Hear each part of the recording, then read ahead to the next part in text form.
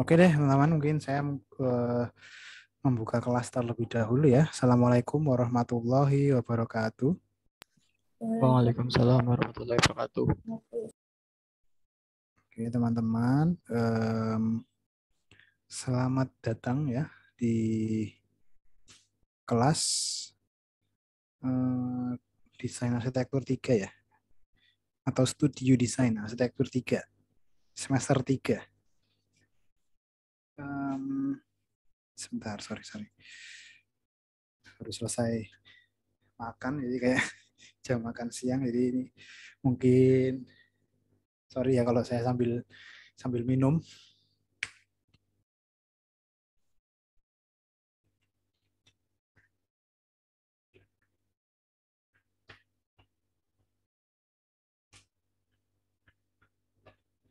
Oke, teman-teman ya. Uh, minggu pertama, pertemuan pertama ya. Selamat datang di kelas D ya, kelas D, Studio Desain Arsitektur 3. Um, perkenalkan ya, nama saya Pak Indro. Nah, mungkin ada yang belum pernah ketemu saya. Mungkin ada yang juga belum pernah ke kampus ya, teman-teman ya. Karena karena kan kuliahnya kalian pandemi terus ya ini ya, mungkin ya. Oke, bisa dimaklumi ya teman-teman, nggak apa-apa mungkin ya saya harapkan ini pandemi juga segera berakhir jadi teman-teman bisa kuliah di kampus jadi berasa beneran kuliah ya. Nggak hanya di zoom aja ini kayak kayak apa namanya kayak nonton video gitu kayak bukan kuliah ya mungkin ya. Oke tapi ya nggak tahu sih mungkin ada yang sudah nyaman kuliah online mungkin barangkali. Nggak harus mandi nggak harus pakai baju yang rapi kan. Tinggal sambil tidur bisa sambil berkegiatan yang lain gitu mungkin ya. Ya nggak apa-apa. Uh, ya sudah zaman sudah mulai berubah ya yang tadinya uh, analog sudah mulai digital gitu ya sekarang.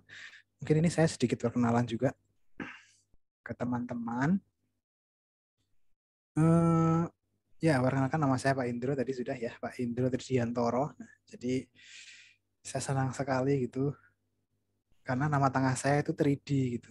Jadi saya kebetulan suka 3D. Ya mungkin nama adalah doa ya. Jadi mungkin juga yang doa dari orang tua saya gitu mungkin yang wah besok kamu bakal uh, kuliah arsitektur, kamu bakal suka 3D mungkin gitu ya. Maka doanya terkabulkan. Saya suka 3D. Jadi saya ngajarin kalau di kampus ya, jadi saya jarang-jarang sih ngajar semester-semester awal karena kan masih manual ya kebanyakan ya saya ngajar di semester-semester tengah gitu, semester 3, semester 4, semester 5 yang sudah menggunakan teknologi digital. Gitu. Jadi ya eh, saya punya Instagram ya kebetulan nama namanya saya rubah jadi 3D, 3D Hantoro gitu. Jadi ya ya ini sedikit gambaran tentang saya kalau di Instagram itu kan kebanyakan pada foto-foto selfie ya. Kalau saya posting-posting apa ya mungkin pekerjaan-pekerjaan saya yang berhubungan dengan arsitektur penelitian-penelitian saya gitu yang saya libat eh, yang saya kerjakan bersama dengan mahasiswa kemudian apa lagi ya? Hmm, ya sedikit foto-foto selfie foto-foto keluarga jarang sih tapi ya kebanyakan hanya uh, ya ya 3D ya kembali lagi ke 3D yang saya sukai gitu. Um, apalagi ya. Um, oh iya teman-teman jangan lupa karena uh, kita harus masuk ke e-learning. Nah ini jadi saya tunjukkan juga barangkali ada yang belum join e-learning. E-learning kita di Studio Desain Arsitektur 3D ini ya mungkin saya buka sekalian. Nah nanti akan teman-teman itu uh, penugasan, pengumpulan materi semua di sini gitu. Jadi kayak Mungkin saya lihat ya partisipannya di sini ada berapa. Oke, 19. Sudah sudah cukup banyak ya. Saya kurang tahu tepatnya ini eh, satu kelas ada berapa orang. Sepertinya 20 sih. Mungkin. Ya mungkin kurang satu orang siapa ya. Asisten ya mungkin ya. Asisten kelas kita sudah join Zoom belum ya? Asisten kelas kita. Um, Mbak Mbak Mbak Yeni. Yeni Yeni Yosita. Atau siapa panggilannya ya? Yeni. Oh belum, mungkin belum, mungkin belum belum join ya. Nggak apa-apa, sambil kita tunggu. Mungkin barangkali dia akan join. Nanti juga Mbak Yeni ini akan informasinya sih saya dapat Mbak Yeni ya yang jadi asisten nanti akan membantu kita untuk proses misalnya ada yang kesulitan asistensi juga ya dan dan sebagainya. Oke teman-teman, eh, mungkin selanjutnya berikutnya WhatsApp group juga ya. Adakah dari teman-teman di sini yang belum join WhatsApp group? Eh, kalau ada silahkan di tuliskan aja di chat mungkin atau silahkan menyalakan mikrofon nanti supaya bisa dimasukkan. Karena di situ nanti akan ada informasi-informasi ya tentang perkuliahan ya, tugas-tugas mungkin dan lain sebagainya. Oke, teman-teman ya. Untuk membuka sebenarnya saya eh, selalu sih bercerita kalau yang namanya eh, apa ya namanya kuliah itu ya kuliah di arsitektur itu ya apa pun sih sebenarnya jurusnya ya jurusannya ya itu pasti akan selalu mengalami yang namanya kebosanan gitu atau namanya galau ya atau apalagi ini tahun kedua gitu. Tahun kedua adalah tahun-tahun di mana teman-teman akan merasakan galau. Apakah jurusan ini tuh tepat buatku gitu?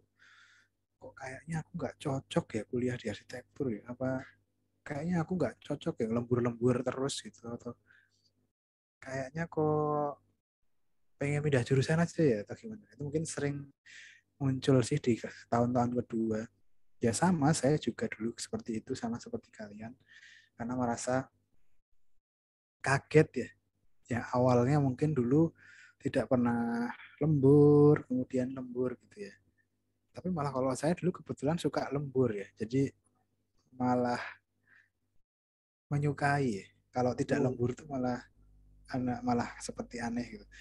Ya karena suka itu yang tersenal jalanan seko kulino. Kalau orang Jawa kan bilang gitu ya. Kita itu suka karena terbiasa.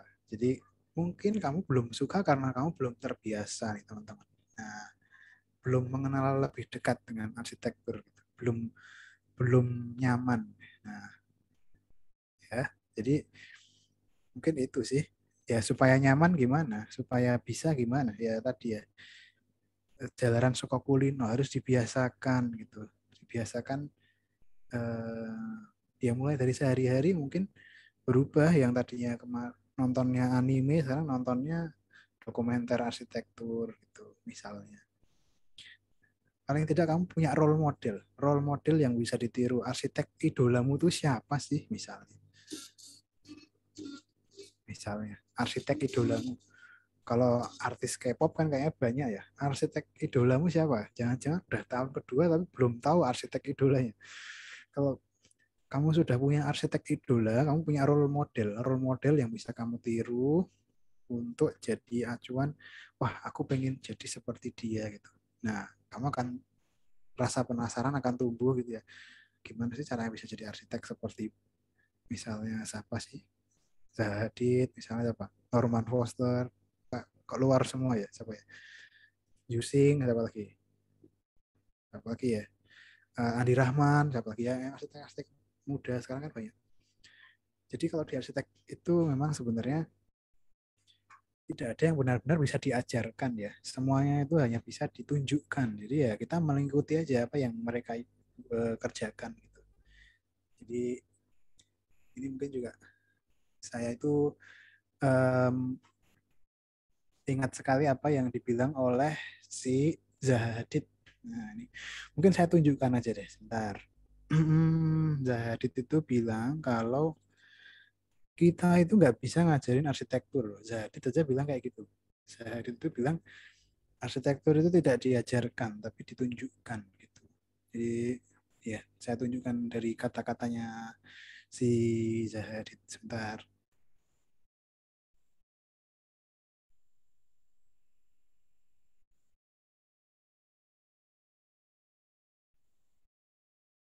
Nah, ini saya share screen nih, sebentar.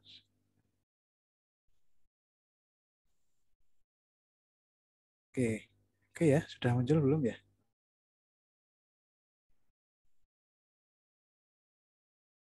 Oke, ini ya teman-teman, saya munculkan. Nah, ini Ini salah satu Architalk saya kemarin waktu ngisi di acara Architalk Immerse, jadi tentang simulasi, simulasi desain. Ini saya banyak banyak banyak apa ya menyukai juga dengan simulasi.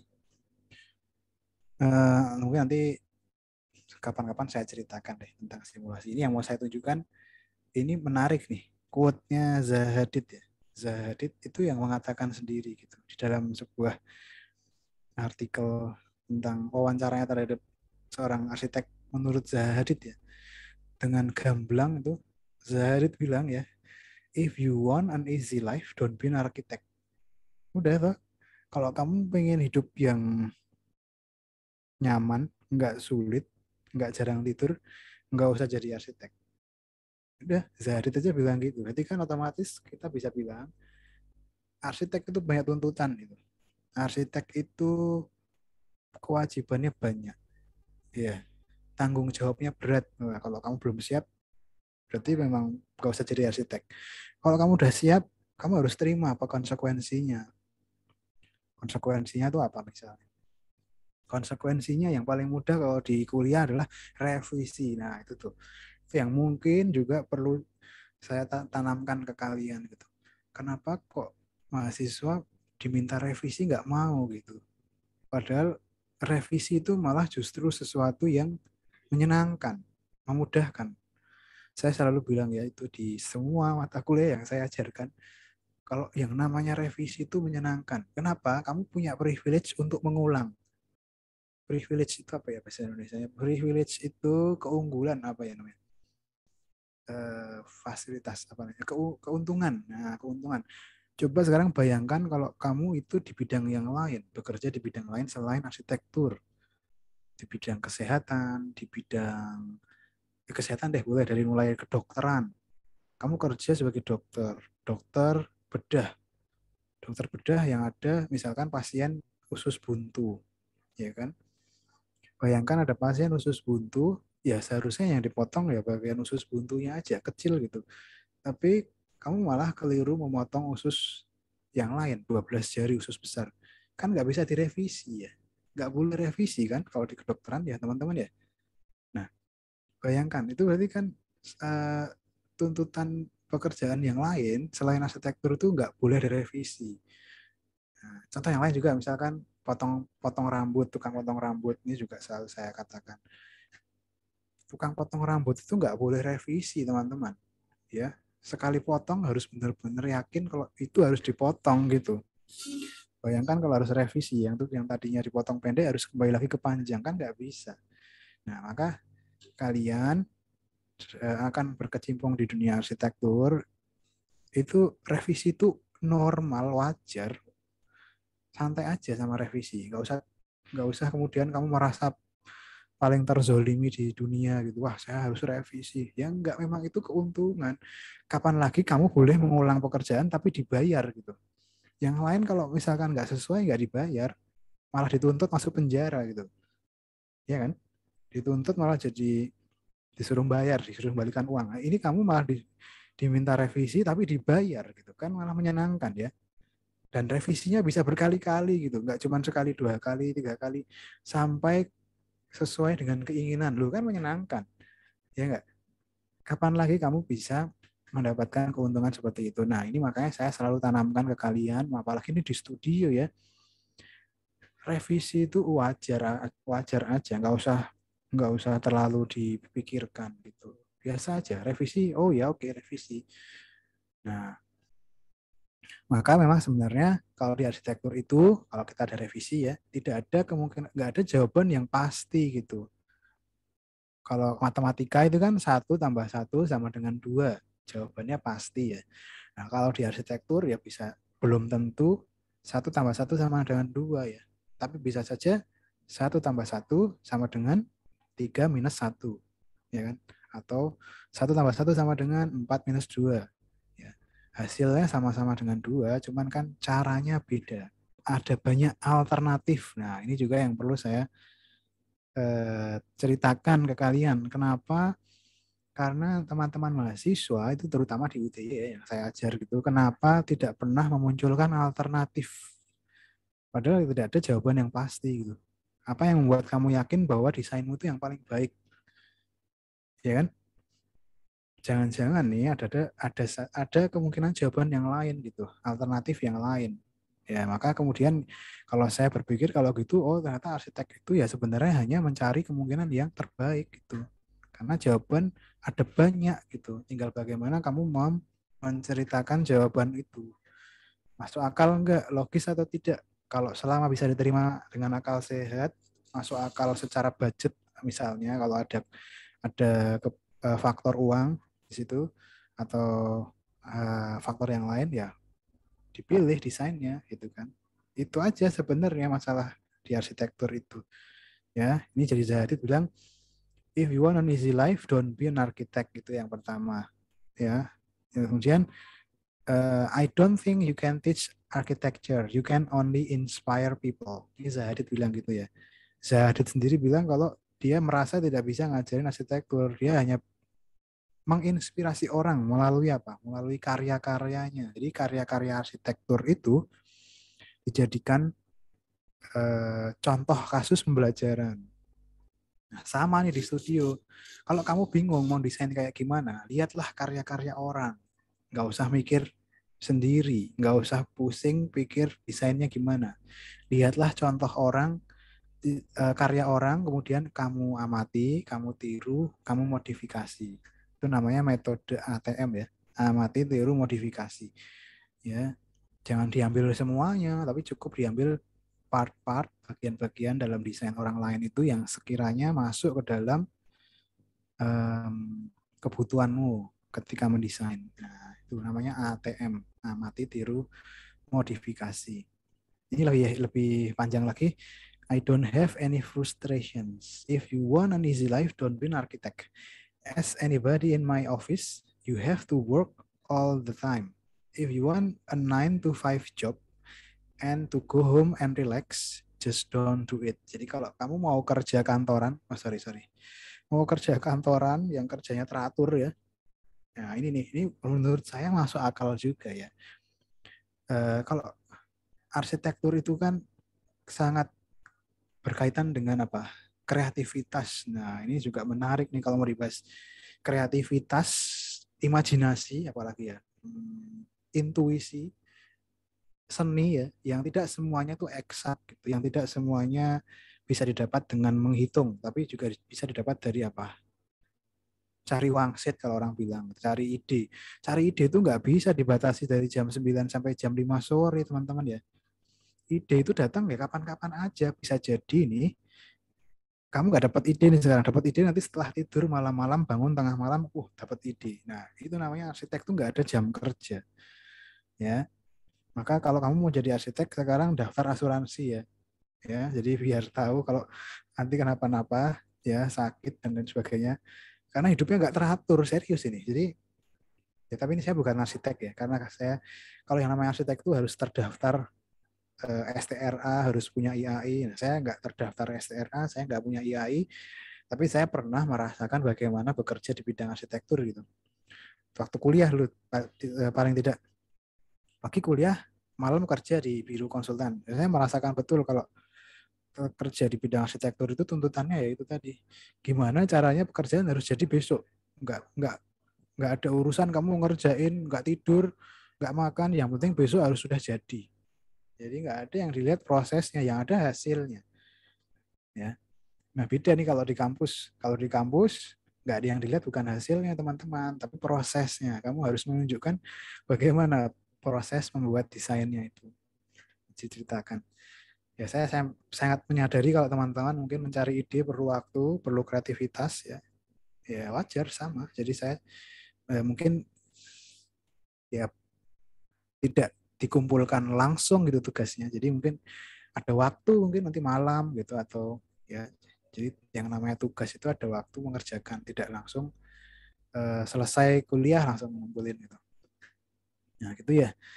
Uh, terus uh, ini juga menarik juga dari Zahid bilang kalau um, perkembangan ini ada perkembangan teknologi yang digunakan. Nah, we used to start working with a sketch, a model, and a painting or a model cross section with digital and visual technology. The skill base has changed. Ini dia artinya uh, maksudnya apa? Jadi ya memang di Zahid itu memang diakui kalau mereka dulu mengawali mendesain itu awalnya dengan sketsa gitu ide-ide gitu ya. Tapi kemudian berkembang selain dengan sketsa dengan model. Kalau kita istilahnya market prototype gitu ya. Market skala kecil gitu ya. Bukan market skala asli tapi market market market skala kecil. Terus painting gambar visual or model cross section. Jadi mungkin perspektif perspektif digital gitu ya. Nah dengan bantuan teknologi digital dan visual gitu the skill base has changed. Nah, ini artinya apa? Tuntutan. Nah, ini sekali lagi tuntutan. Tuntutan arsitek itu sekarang banyak. Nggak cuma hanya sekedar bisa menggambar. Nah, ini sekarang harus bisa mendesain. Beda ya, teman-teman ya. Kalau cuma bisa menggambar, kamu nggak harus kuliah. Tapi harus mungkin SMK gitu, menggambar aja. Tapi kan bukan mendesain. Kalau tuntutannya mendesain, kamu mempertimbangannya akan banyak, nggak cuma bisa menggambar, tapi ada di situ kenyamanan pengguna, apalagi sesuai dengan peraturan, apalagi kontekstual lokasi. Jadi bedakan nanti menggambar dengan mendesain. Nah, mendesain bisa dibantu dengan teknologi-teknologi yang digital, misalnya dengan alat gambar, ya software gitu. Nah, di semester 3 ini adalah semester semester peralihan gitu teman-teman. Peralihan itu artinya apa? Peralihan itu permidahan. Saya tahu betul satu semester satu semester dua itu pasti masih pakai sketsa gitu, masih masih jatuh cinta dengan yang namanya pensil warna, masih uh, rapido, masih drawing pen, masih penggaris dan lain sebagainya masih disimpan dengan sangat rapi gitu di kamar. Mungkin juga ada yang masih pakai uh, meja gambar dan lain sebagainya. Nah, semester 3 itu semester peralihan di mana akan beralih dari di, eh, manual ke digital gitu, teman-teman. Ini perlu saya sampaikan. Kaget kebanyakan biasanya ada nggak pernah gambar pakai komputer, sekarang pakai komputer. Aduh, gimana ya? Ya, maka kembali lagi biasa ya, kita bisa karena biasa. Ya, kalau tidak dibiasakan ya nggak akan bisa. Maka ada istilah namanya jam terbang ya. Ya toh pilot itu kan dikatakan dia bisa Eh, pilot pilot senior kalau jam terbangnya tinggi, jam terbang tinggi itu di atas 10.000 jam katakanlah gitu. Nah, sama kalau di arsitektur kamu dikatakan arsitek senior atau arsitek profesional juga kalau kamu sudah terjun di dunia uh, arsitektur sudah lebih dari 10.000 jam katakanlah gitu. Kalau dari softwarenya ya sama, kalau kamu mau belajar software pakailah, biasakanlah gitu. Ya. Itu intinya bisa karena biasa teman-teman. Mungkin mungkin itu pengenalan perkenalan ya uh, dari saya gitu um, di studio desain arsitektur 3 ini. Mungkin berikutnya akan lebih saya sampaikan tentang TOR ya. Uh, term of reference. Jadi kayak kerangka acuan kerja KAK atau kita mau ngapain sih studionya gitu ya. Oke deh, mungkin sampai di sini sebelum saya lanjut ke materi yang lebih spesifik lagi tentang studio, adakah yang mau bertanya, teman-teman? Silahkan kalau ada yang mau bertanya, mau terkait aja boleh silahkan ada kalau ada saya berikan waktu.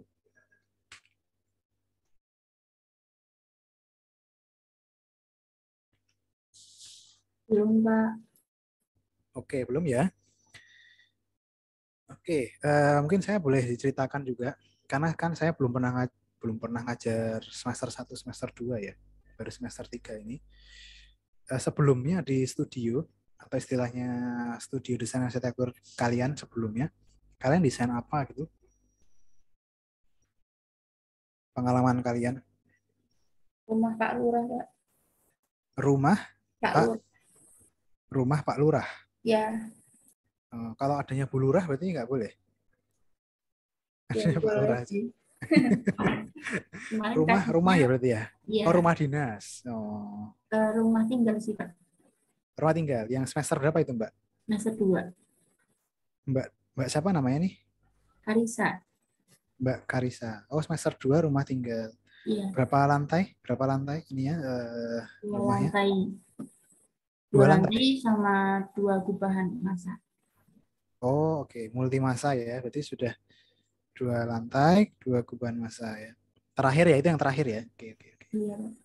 Oke, ininya eh, outputnya gambar apa aja? maksudnya gimana? Output itu maksudnya yang dikumpulin waktu eh, UTS UAS kemarin waktu hasil akhirnya yang diminta produknya apa aja? Berupa apa gitu?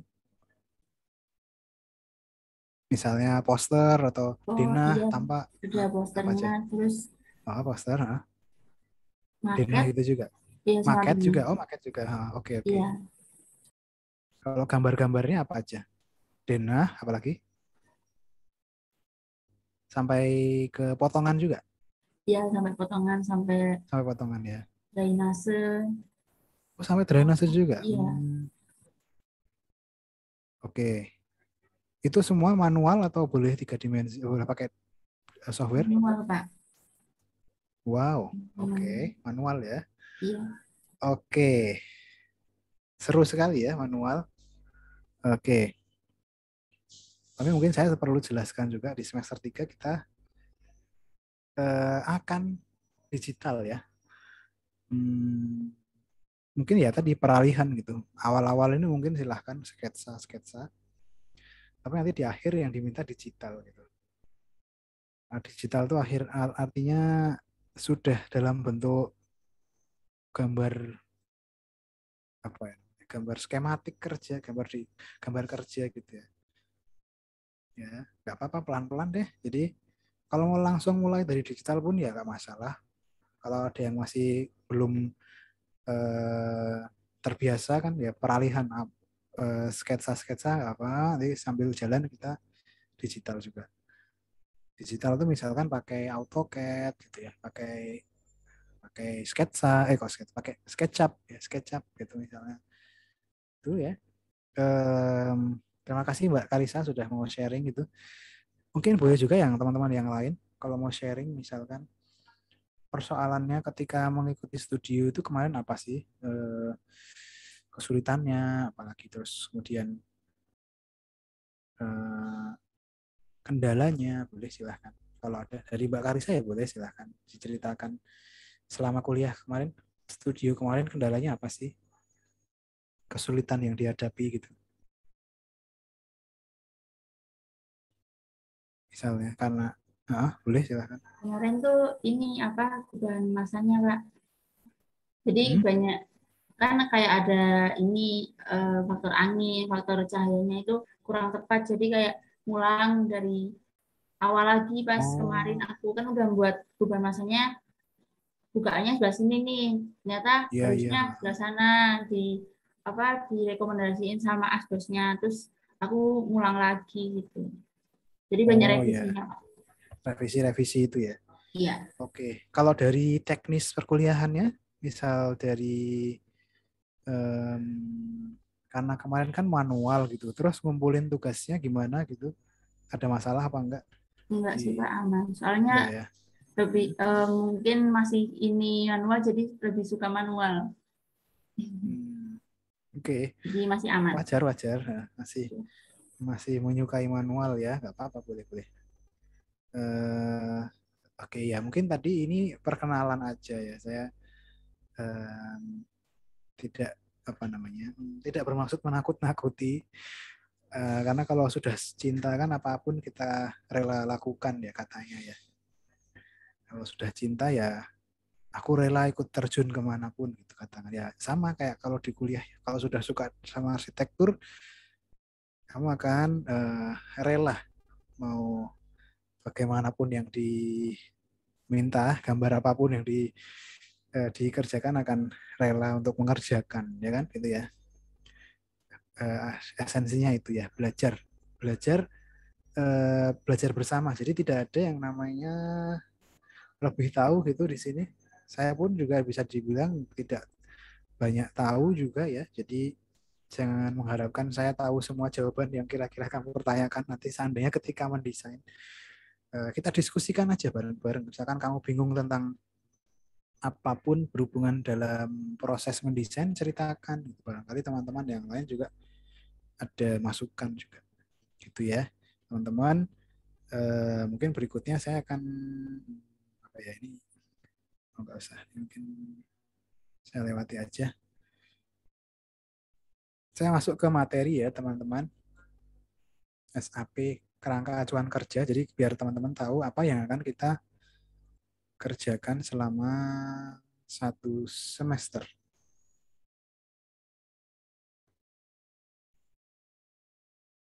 Oke, ini sudah muncul belum ya di tempat kalian ya? Sudah, ya, Pak. Saya share. Oke, sip. Ini suara saya terdengar dengan jelas kan ya? Nggak putus-putus, nggak nggak ini kan? Nggak Jelas. jelas ya. Oke, sip. Oke, jadi gini teman-teman ya. Ini sa- eh, Desain Arsitektur 3. Ya, jadi Nah, langsung langsung judulnya adalah Welcome to Kindergarten. Nah, mungkin saya mau tanyakan dulu nih ke teman-teman nih, istilah kindergarten tahu nggak ya? Sudah pernah dengar belum ya? Taman kanak-kanak, Pak. Oh, iya benar, taman kanak-kanak. Kalau taman kanak-kanak, nah em, masih ingat nggak dulu kalian taman kanak-kanak apa enggak? Masih ingat? Ada yang punya adik mungkin? Ada enggak? Saudara, tetangga yang masuk taman kanak-kanak? Atau kalian sendiri gitu? Ada enggak? Ada, Pak. Ada. Eh, siapa nih yang masuk taman kanak-kanak?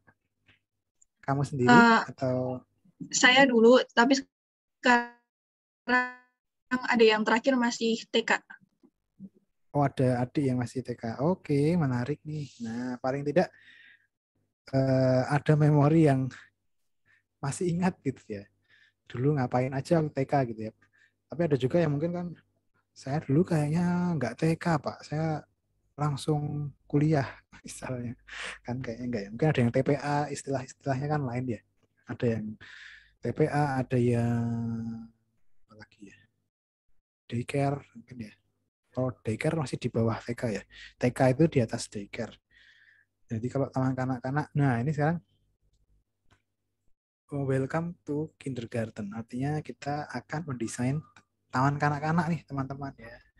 Ya, eh, mungkin sudah bisa bayangin nih. Wah nanti aku bikin perosotan nih. Wah aku nanti bikin apa gitu. Bikin tempat bermain anak-anak. Nah nggak apa-apa, nggak apa-apa. Itu menarik. Jadi kamu udah ada bayangan ya. Kira-kira mau ngapain aja. Emang akan lebih mudah kalau kamu sudah pernah merasakan dulu kayak gimana naik perosotan, gimana rasanya kejeduk sama jungkat-jungkit misalnya. Ya. Eh, akan kita bahas semuanya di studio 3 ini. Nah, kindergarten, taman kanak-kanak. Kalau kita ngomongin taman kanak-kanak nanti pasti ada apa namanya? eh, umurnya. Umur anak dari umur berapa sampai umur berapa gitu ya. Ya, oke deh, lanjut aja. Nah, ini mungkin em, tujuan dari taman kanak-kanak atau kindergarten itu sebenarnya kan persiapan sebelum masuk SD ya. Jadi kayak masih pengen main, belum cocok masuk sekolah. Jadi kayak masih ragu-ragu gitu. Masih apa ya namanya? Kayak eh, biar masa kecil bahagia, jangan masa kecil kurang bahagia ya. Tapi biar masa kecilnya bahagia itu dimasukkan ke taman kanak-kanak dulu sebelum masuk elementary school atau SD gitu. Nah, tujuannya apa sebenarnya? Kalau TK itu kan membentuk karakter itu sebenarnya intinya. Membentuk apa namanya? eh,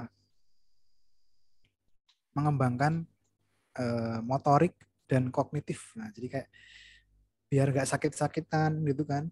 Eh, biar biar bergerak sehat, olahraga dan lain sebagainya. Maka prinsipnya adalah bermain sambil belajar, belajar dari loka- eh, sekitarnya, dari alam, dari alat gitu ya, dari eh, ini yang bisa kita lihat di gambar ini deh.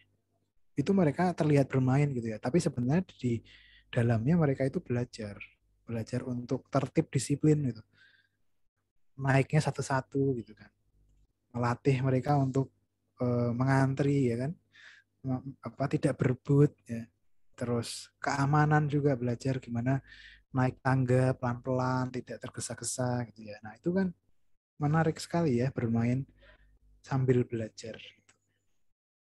Nah, kemudian uh, untuk bisa menciptakan suasana yang istilahnya uh, uh, apa namanya menunjang. Nah, itu kita sebagai arsitek perancang itu nanti akan mengembangkan dalam hal apa saja. Misalnya dalam visual misalkan warna-warna gitu. Kemudian sentuhan-sentuhan. Jadi misalnya dari material-material yang ramah anak ya. Masa kamu bikin te, bikin taman kanak-kanak nanti ada kaca-kaca pecahan kaca gitu kan? Nggak mungkin ya. Bikin dinding-dinding tajam gitu. Dinding-dinding beton tajam gitu kan ngeri banget nanti jadinya kayak Squid Game nanti jadinya bukan kayak taman kanak-kanak.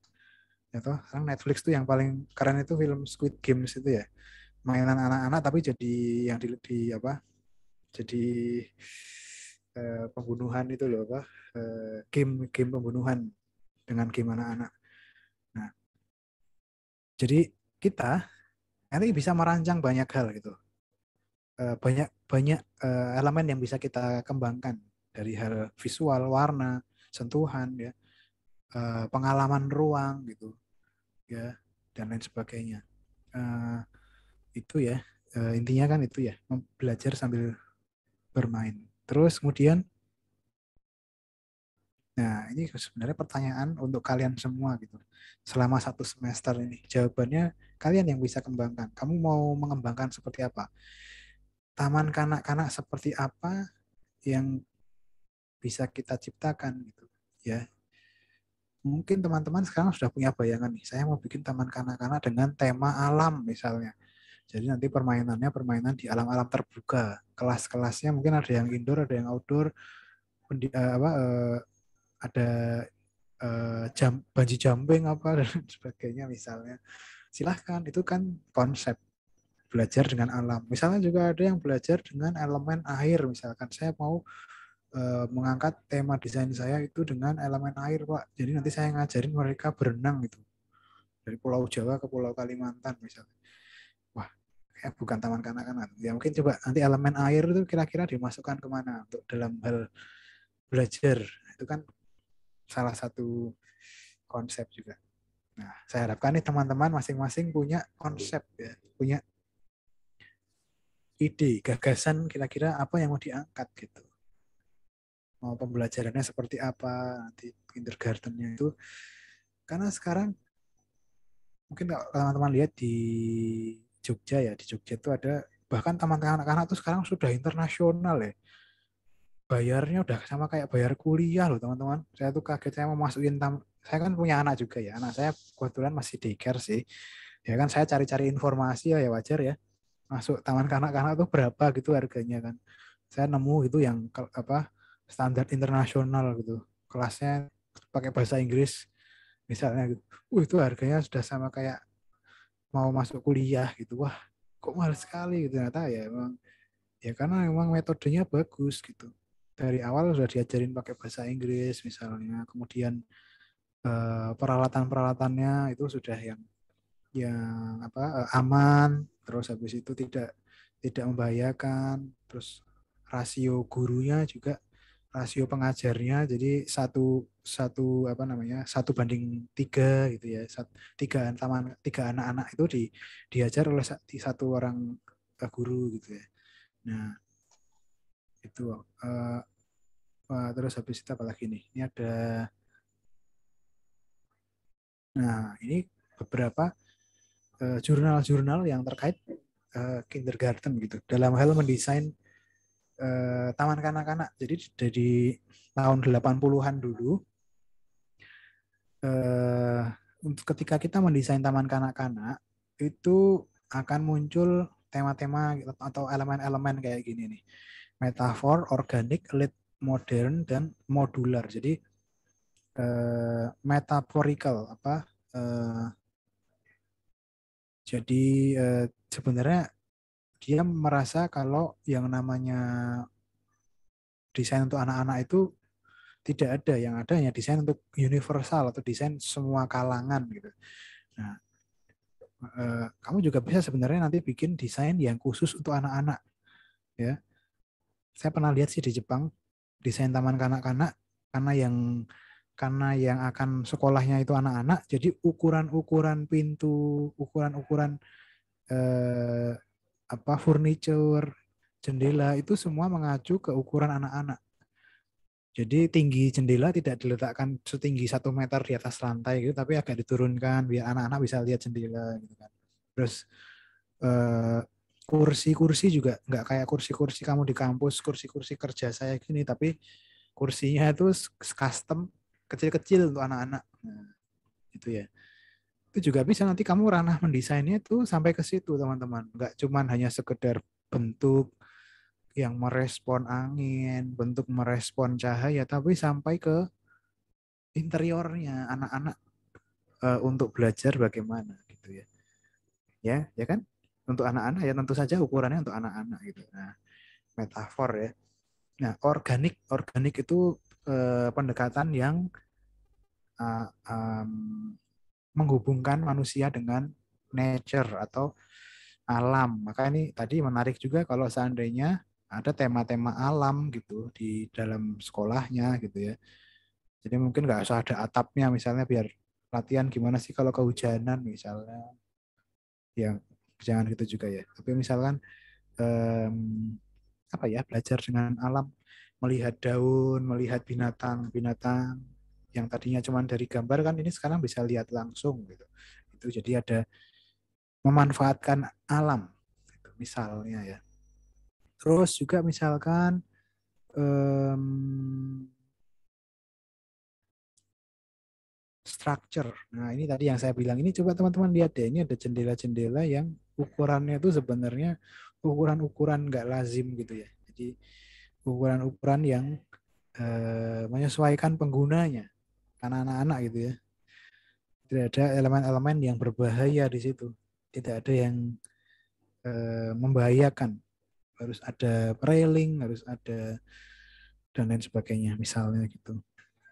Yang berikutnya modular. Nah, ini menarik juga nih. Modular itu keberulangan. Jadi kamu bikin ruangan, bikin bangunan yang ukurannya itu bisa template atau bisa diulang-ulang gitu ya.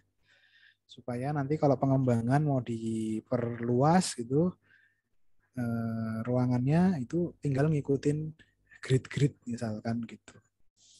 Ya ini ini ini sedikit gambaran aja kalau eh, pendekatan dalam mendesain gitu ya. Nah, terus eh, ada paradigma baru dalam kita merancang ya preschool, preschool institution atau kindergarten tadi ya berdasarkan psikologi. Ya, ini penting juga ya.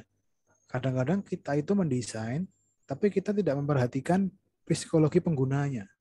Apalagi ini psikologi anak-anak. Ya. Anak-anak kira-kira mau bermain nggak di situ? Ketika kamu bikin ruangan gelap, nggak ada lampunya, warna catnya merah, udah gitu semua tertutup nggak ada jendela ya nggak mau ya psikologi anak wah bisa-bisa pulang nggak mau sekolah lagi maka kamu coba kalau kamu lihat warna-warna yang dipilih warna-warna yang digunakan warna-warna ceria, warna-warna dasar, warna-warna apa ya eh, cerah gitu, bukan yang menakutkan. Itu psikologi ya. Karena psikologi ya dari warna, dari bentuk ruangan, dari dari cahaya, dari apalagi macam-macam ya. Nih misalnya nih teman-teman kalau uh, lebih apa ya namanya lebih spesifik gitu. Nah, um, karena anak-anak itu suka berlari-lari ya, psikologi anak-anak itu kan suka bermain ya. Jadi siapkan ruangan-ruangan yang besar, open structure, open layout. Jangan penuhi dengan banyak sekali furniture, apalagi furniture yang permanen. Wah, berbahaya banget. Anak saya tuh sudah hampir setiap hari kepalanya kejeduk tembok. Saya nggak tahu karena bayangin anak-anak suka lari-lari gitu. Tapi ya menariknya anak-anak sering-sering kejeduk tembok tuh tiap hari ya diulangi terus gitu loh. Ya tiap hari itu kepalanya benjol terus tuh kalau anak saya jemput sekolah tuh tadi kejeduk pintu pak, tadi kejeduk lantai, tadi kegigit temannya, wah tadi mainan apa itu, wah ya masih saya maklumi lah ya memang anak-anak sukanya bermain gitu. Nah kalau sudah tahu nih anak-anak suka bermain, maka pastikan tidak ada hal-hal yang membahayakan gitu ya. Tidak jangan sampai ada apalagi yang besi tua karatan misalnya wah berbahaya banget. Jangan sampai caranya nih kayak gini nih pakai open structure. Atau kamu bikin layout ruangan yang terbuka luas gitu misalkan ada terus juga nah anak-anak itu juga perlu sebuah ruangan yang privat ya teman-teman. TK itu kan nggak cuma bermain ya tapi juga ada tidur siang gitu ya. Ada jam um, jadi dalam satu hari ini mungkin saya bisa sedikit cerita karena kebetulan anak-anak saya juga daycare. Mungkin mirip-mirip ya. Kalau di daycare itu ada sarapannya kemudian ada mandinya juga. Jadi um, tidak hanya sekedar bermain bersama tapi juga ada privatnya juga ya kegiatan privatnya. Ya e, makan terus mandi gitu-gitu. Nah ini tadi yang saya bilang mengikuti antropometri ya. Istilah antropometri itu mengikuti ukuran si penggunanya. Nah, ini kan kalau kamu mungkin ngapain sih ini Pak bikin jendela kecil-kecil kayak gini letaknya di bawah lagi. Siapa yang mau lihatnya? Ya, kalau untuk anak-anak ini malah justru menarik bisa jadi tempat mereka melihat keluar gitu ya. Jadi tempat karena mereka merasa nyaman sesuai dengan ukuran mereka gitu. Nih, kayak gini. Um, terus kemudian, nah misalnya ini juga nih, pemilihan, nah bentuk juga tadi, bentuk-bentuk jangan pilih bentuk-bentuk yang membahayakan. Misalkan dengan bentuk-bentuk lengkung, ini kan menarik, bisa um, tidak monoton ya. Nah, bentuk itu tidak monoton.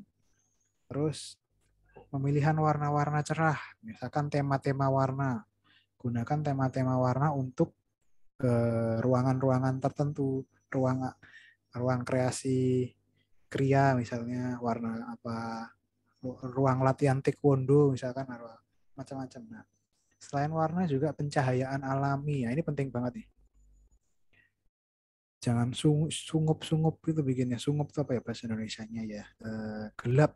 Ya, kalau mau desain usahakan masukkan cahaya alami gitu ya supaya sehat. Apalagi sekarang kondisi pandemi ini vitamin D ya dari matahari itu sangat dibutuhkan. Nah, ruangan yang tidak terkena sinar matahari nanti akan sangat lembab ya, lembab eh, tidak baik untuk kesehatan. Nah, misalnya kayak gitu. Terus nah, ini juga bisa mainkan order atau misteri. Jadi kayak ruangan-ruangan itu dibuat dengan sequence, dengan uh, urutan-urutan yang mengajak anak-anak untuk mau bergerak. Itu intinya kan bergerak uh, menstimulasi motorik. Nah, tadi loh yang di awal-awal tadi ya. Bisa juga kamu desain dari ruang dalamnya gitu.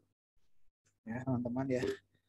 Um, terus nah ini juga ada yang lain. Playful elements as a part of the facade Ya, fasadnya bisa kalian kembangkan ya jadi sebuah elemen yang menyenangkan, elemen bermain yang menyenangkan.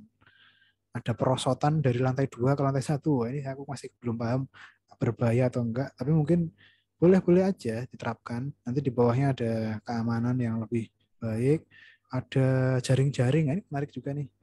Jaring-jaring di lantai dua. Ya, pastikan aman gitu. Jangan sampai kaki lubang-lubang jaringnya itu lebih lebih besar dari ukuran kaki anaknya, wah jangan. Jadi harus benar-benar kecil-kecil terus wah ini menurutku dari sini aja menurutku teman-teman kayaknya sudah pasti banyak bayangan ya, ide konsep dan lain sebagainya yang ingin bisa dikembangkan. Ya. Nanti sambil jalan kita diskusikan gitu. Konsep teman-teman itu apa. Oke. Um, Nah, ini beberapa pendekatan modern yang bisa diterapkan ya. Misalkan dari kontekstual lokasi. Nah, ini nanti untuk lokasi akan kita bicarakan lagi ya, eh, teman-teman.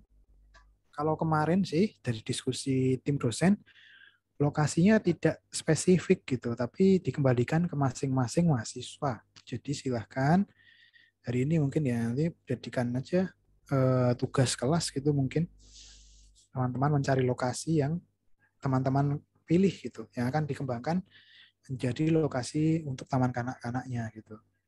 Ya kalau menurut saya yang paling mudah ya lokasi kalian sekarang berada ini aja. Misalkan nih ada yang di Eh, Kalimantan misalnya, ya silahkan cari yang lokasinya di Kalimantan aja. Misalkan ada yang di Jogja, ya cari di Jogja aja. Nggak harus, eh, jangan mempersulit diri sendiri lah. Paling tidak kamu tahu lokasinya itu di mana dan cocok dikembangkan untuk kindergarten. Cocok tuh gimana maksudnya?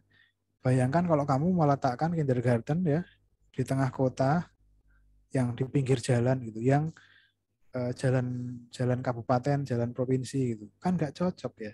Yang malah berbahaya ya yang lewat di situ truk-truk besar gitu. Nah, itu keamanan juga penting. Kindergarten butuh tempat yang uh, nyaman untuk belajar, tidak ada polusi suara, ya kan? Uh, apa namanya untuk pencapaiannya juga mudah ya terus kemudian Eh, ada unsur alamnya, jadi masih ada asrinya, jangan jangan banyak terlalu banyak gedung-gedung tinggi. Jadi jadinya ya saya nggak tahu sih apa memang nanti konsep kalian mau urban preschool atau gimana yang nanti mainannya mainan beton gitu atau gimana mungkin perosotan-perosotan dari apa ya tergantung sih konsep kalian gimana. Um, sustainability ini juga masuk.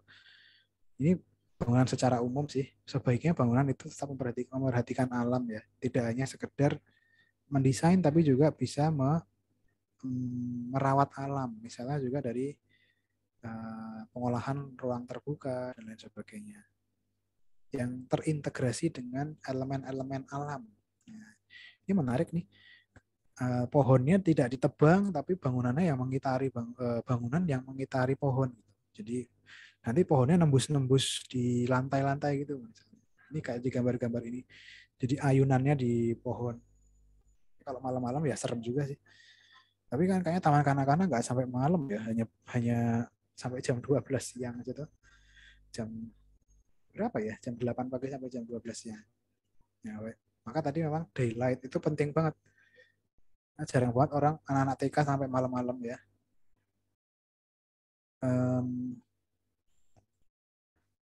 Seven Important Kindergarten Classroom Design Principles. Nah, ini diikuti aja ini boleh. Open structure layout, open layout, terus creation of contrast, color simulating. Ada warna-warna yang menstimulasi anak-anak untuk mau bergerak. Nah, ini juga safety, keamanan. Go green, memperhatikan lingkungan. Visual horizons of children. Jadi yang dituju itu anak-anak gitu ya antropometrinya anak-anak. Ukuran-ukurannya ya ukuran-ukuran anak-anak. Private space ya, meskipun anak-anak juga tetap disediakan tempat untuk tidur, tempat untuk uh, mereka istirahat ya dan lain sebagainya. Um, ini mungkin nanti di dibaca juga banyak di browsing juga masih sudah sangat banyak. Um, Oke, okay, apalagi ya yang ini contoh-contohnya. Kalau menurut saya akan lebih mudah tadi ya, kamu tuh cari contoh presiden. Jadi selain kamu menentukan lokasi site, kamu juga cari presiden yang kira-kira bisa kamu tiru. Ya, diamati, ditiru, terus kemudian diterapkan, dimodifikasi, diterapkan ke desain kalian. Ya, ini kayak gini-gini nih, boleh. Nanti mungkin hari ini Eh, teman-teman saya minta untuk mencari itu tadi lokasi dan presidennya. Jadi lokasi uh, untuk dikembangkan kindergartennya ya. Nanti mungkin saya jelaskan luasan-luasan minimalnya ya. Ini contoh-contohnya children space size. Mungkin kalau di bangunan-bangunan umum di bawah tangga itu enggak bisa dimanfaatkan untuk apa-apa gitu. Paling cuma buat penyimpanan barang. Tapi kalau di taman kanak-kanak karena anak-anak itu ukurannya kecil masih bisa dimanfaatkan lagi gitu. Masih bisa jadi tempat bermain. Tidak ada yang terbuang. Efisien banget ya. Kayak gini. Ini bermain juga tidak harus selalu di indoor, tapi juga bisa di outdoor. Ini misalnya seperti ini. Kemudian Nah, ini mungkin beberapa studi kasus yang bisa saya ceritakan. Nanti teman-teman tak cari yang lain gitu ya, yang bisa dijadikan referensi. Ini misalnya Telus Nursery School. Tadi yang bentuknya dinamis tadi tidak ada yang lancip ya, tidak ada elemen-elemen lancip. Ini seperti ini. Jendelanya peletakannya pun nggak standar ya. Bebas saja yang penting ada jendela, yang penting bisa masuk matahari ya, cahaya matahari. Ya kan? Dinamis sekali gitu bentuknya. Uh, warna-warnanya juga warna-warna yang cerah, yang playful gitu. Tema-tema warna. Nah, tidak ada warna-warna yang menyeramkan kayak warna-warna hitam. Dominasi hitam tuh sangat sedikit sekali. Warna-warnanya warna-warna cerah. Ini apa lagi nih? Fireplace for Children, Norway. Ini lebih ke uh, area untuk apa ya istilahnya ya um, bermain anak ya mungkin untuk penghangat gitu ya karena di mungkin di luar negeri itu um, tidak membutuhkan AC tapi malah membutuhkan pemanas ruangan misalnya pakai kayak gini ya contoh yang lain apa nih? Loop in Tianjin. Nah ya seru banget gak sih desainnya? Kan apa namanya uh, uh, uh, playful banget itu loh. Dinamis sekali itu. Saya nanti penasaran nih teman-teman masih ada nggak ya yang bikinnya kotak-kotak gitu? Padahal untuk anak-anak ini ya. Harapan saya sih eh, apa teman-teman coba berkreasi gitu. Ini kayak gini. Ada inner ada inner courtnya ya di tengah bangunan ya. Untuk untuk senam pagi mungkin SKJ untuk olahraga aktivitas komunal di luar. Wah ini menariknya adalah inner court-nya bukan di lantai dasar tapi di lantai dua. Di lantai dua tapi di tengah-tengah bangunan. Nah ini ada kelihatan ada skylight skylight ini skylight namanya. Cahaya bisa masuk. Ya Eh, ruangan-ruangan kelasnya juga kan transparan gini. Nggak yang tertutup kayak di kampus gitu. Ya terlihat terbuka. Ini tujuannya apa sih sebenarnya? Tujuannya untuk pengawasan. Jadi guru itu bisa mengawasi anak-anaknya gitu. Anak-anak tuh sukanya sembunyi kan mainan peta umpet ya kalau semua serba tertutup ada satu anak sembunyi mainan sembunyi nggak ketemu gimana pulang kekunci di sekolah gimana kan horor ya jadinya. Nah, gunakan elemen-elemen transparan seperti ini gitu. Untuk pengawasan, untuk keamanan, untuk untuk penyebaran cahaya alami juga. Nah, ini menarik sekali nih Ekopolis Plaza tadi perosotan dari lantai dua ya. Ini mungkin kayaknya yang main perosotan malah gurunya deh ini kalau kita lihat ya. Mungkin ya ini contoh aja teman-teman ya. Ini bisa teman-teman ikuti, bisa diamati, ditiru gitu.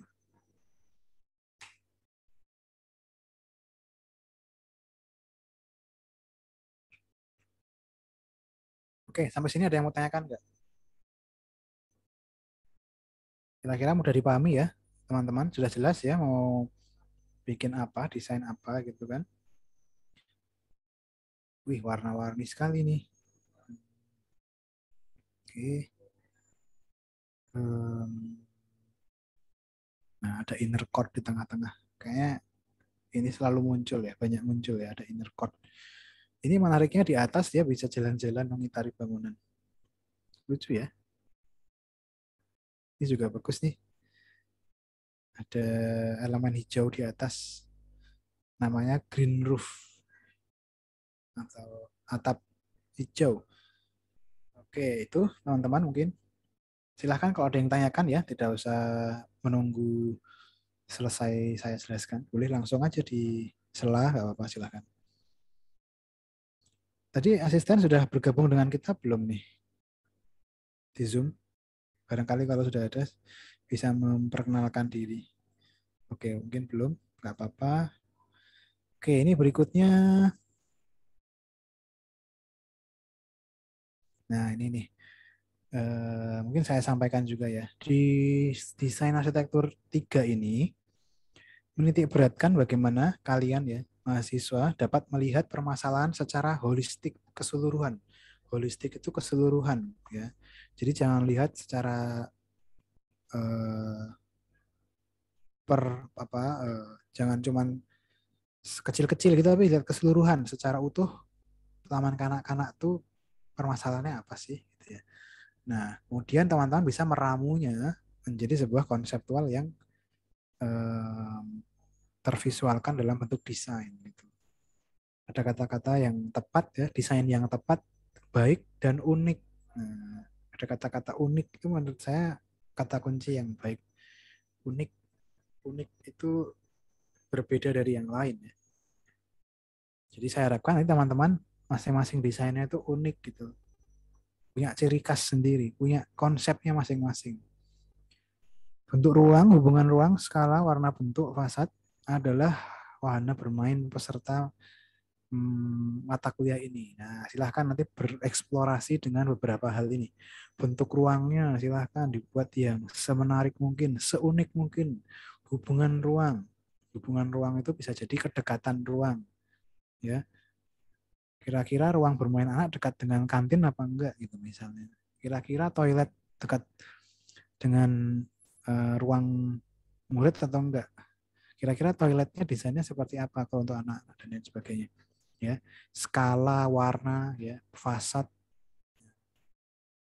Nah, sebenarnya tujuannya adalah menciptakan taman kanak-kanak ya atau kindergarten yang tidak biasa. Nah, jadi kalau kamu malah sekarang ini dituntut untuk bikin sesuatu yang tidak biasa, ya nggak usah khawatir, nggak usah bentuknya aneh-aneh malah bagus karena kan tidak biasa, unik. Yang tetap mempertimbangkan prinsip dasar, jadi tetap mengutamakan keamanan, mengutamakan kebutuhan, pengembangan kemampuan kognitif dan motorik anak ya. Oke, eh, diharapkan nanti mahasiswa juga eh, apa namanya menemukan urutan design thinking. Jadi kita kalau mendesain itu kan ada urutan-urutannya ya guys. Tidak langsung jadi. Tapi ada prosesnya. Nah, proses itu nanti akan terbentuk menjadi sebuah transformasi desain. Nanti namanya konsep juga sih transformasi yang awalnya itu dari gubahannya seperti apa sih akhirnya dikurangi, ditambah, kemudian berubah karena ada matahari dan akhirnya jadi bentuk akhir. Itu namanya transformasi. Nah, itu design thinking juga. Ya, itu ya teman-teman. Um, tadi ini sudah saya sampaikan ya, bermain sambil belajar prinsip belajar adalah bermain dan bermain adalah belajar yang didapat dari visual dan sentuhan. Jadi nggak lihat laptop gini belajarnya ya, nggak lihat gadget, nggak lihat TV, tapi belajar yang baik itu ya belajar dari uh, permainan, belajar uh, motorik ya, itu. Kemudian kalau ini ya gambaran untuk program ruang ini sudah disediakan. Uh, silahkan nanti di dijadikan apa namanya acuan ya dalam mendesain ruangan-ruangan ini harus ada. Pak, kalau misalkan saya mau menambahkan ruangan-ruangan yang lain bagaimana? Boleh ya. Boleh, tapi ini harus tercukupi semua. Ini ada bahkan ini sudah diberikan sampai ke jumlah kelasnya ini.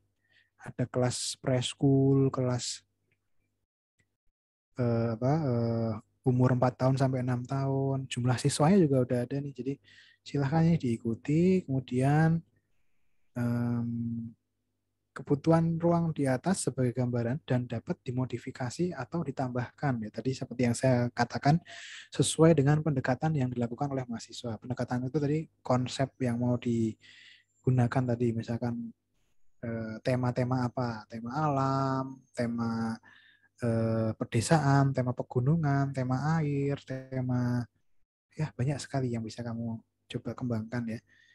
Nah, um, saya harapkan tetap menambahkan ya, jangan hanya Jangan hanya ini, ini wajib yang harus ada secara umum. Nah, yang yang uh, kamu tambahkan nanti sesuai dengan tema yang kamu pilih itu. Ya. Gitu. Oke, nah ini nih, sekarang kita lokasi ya. Masuk ke lokasi. Lokasi site atau tapak berada di tempat tinggal masing-masing mahasiswa. Tadi yang sudah saya sampaikan, nggak usah menyulitkan diri sendiri, apalagi mau bikin uh, kindergarten di bulan gitu. Wah, udah ini cuman buat latihan aja kok, nggak usah yang aneh-aneh gitu ya kindergarten di Bekasi, di planet lain misalnya, di ini aja, di lokasimu aja. Nah, kriteria yang bisa dipilih ya lokasinya di mana letaknya di rural urban ya atau berpotensi sebagai area taman kanak-kanak ya rural urban tepi-tepi kota jangan di tengah kota misalnya luas tapak 1500 sampai 2000 meter persegi. Nah ini 2000 meter persegi itu kalau misalkan dijadikan ukuran misalkan 50 kali 40 ya. 50 kali 40 kan 2000 misalnya um, 100 kali 20 tapi memanjang sekali site-nya ya. Ukurannya 20 meter tapi memanjang.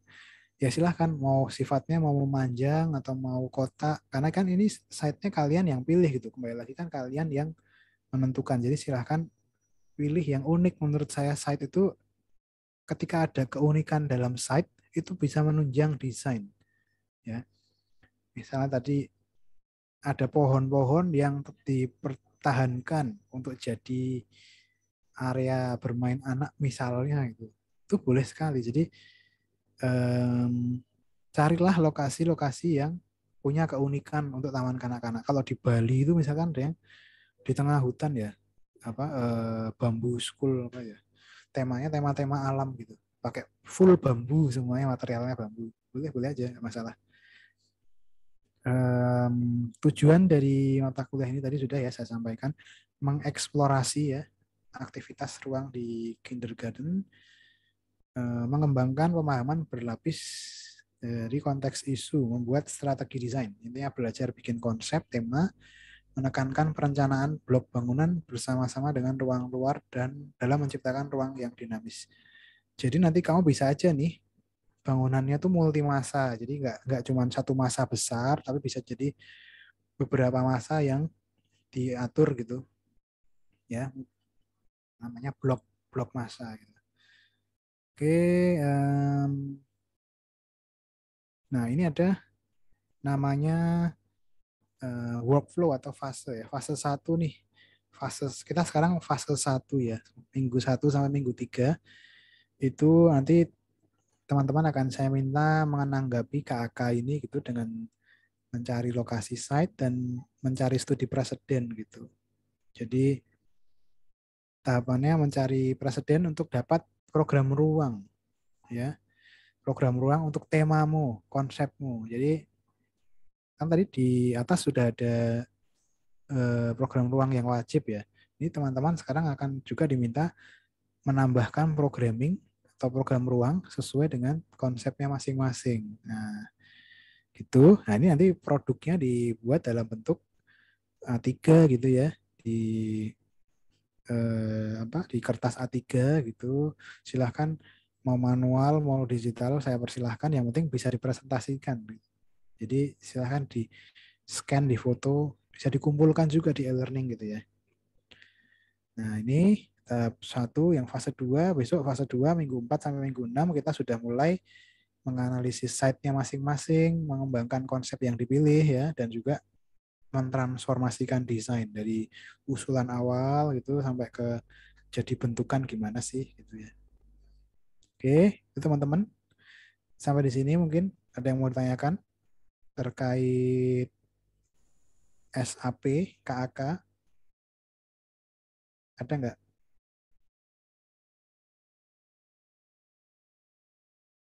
Silahkan ya kalau ada. Mungkin sekalian coba Apakah sudah jelas kalian, teman-teman? Sudah dipahami kan ya? Iya, Insya Allah. Oke, ya, ya, oke, oke, oke. Em, tanggapan terhadap KAK, data, dan programming. Oke, lokasi site ya maksudnya ya. Udah ada gambaran lokasi site, teman-teman? Belum, Pak. Belum. Belum. Hmm, Belum ya, belum ada gambaran ya. Oke deh, kalau gitu em, apa namanya? Berarti silahkan teman-teman cari aja. Ini teman-teman sekarang lokasinya di mana nih? Kalau saya boleh tahu nih, ada yang di Jogja nggak? Bantul, Pak. Ada, Pak. Bantul ya, oh, dekat-dekat kan. Nah itu bisa juga tuh. Em, kan ada kayak bina anak soleh itu. loh. Em, banyak kok sekolah-sekolah di Jogja ya, taman kanak-kanak di Jogja. Olivan, terus apa lagi ya? Al Azhar, apa lagi ya? Yang internasional internasional itu, yang bayarnya setiap setiap bulan kayaknya satu motor itu. Em, Oke, mungkin malah ini ya. Saya coba minta ada beberapa mahasiswa yang menanggapi gitu hasil apa eh, eh, hasil KAK ini ya. Kira-kira pemahamannya bagaimana gitu. Silahkan mungkin boleh. Jadi saya ingin dengar juga ya dari teman-teman gitu pemahamannya terhadap rencana ini gitu. Mau desain apa sih gitu? Apa yang akan dikerjakan? Apa kira-kira yang sudah dipikirkan? Nah, boleh silahkan saya ingin dengar dari teman-teman. Ya. Em, sambil sekalian kenalan kan mungkin barangkali ada yang ini satu kelas sudah pada kenal semua belum ya? Barangkali kan ada yang belum pernah ketemu juga. Eh, coba saya pengen dengar dari siapa ya? Coba Hafizah Sekar. Ini cowok apa cewek nih? Saya Pak cewek. Oh Mbak Hafizah. Mbak panggilannya Mbak Hafizah ya? Bisa bisa bisa sekar Pak. Ya boleh deh. Gimana Mbak pemahaman terhadap kerangka acuan kerja yang eh, aku sampaikan tadi? Berarti kan kalau menurut saya kita disuruh desain yang ramah anak tentunya kan buat karena buat TK berarti Mhm. ya yang kita eh, apa ya? Yang jelas enggak ini. Mhm. Ya lihat itunya Pak. Program ruang. Program ruang. Iya. Program ruang. Nah ini, ini, ini. Iya. Berarti ini eh, yang ramah anak terus bisa ini mengembangkan ini motoriknya anak gitu. Hmm. Sesuai dengan Menarik, menarik.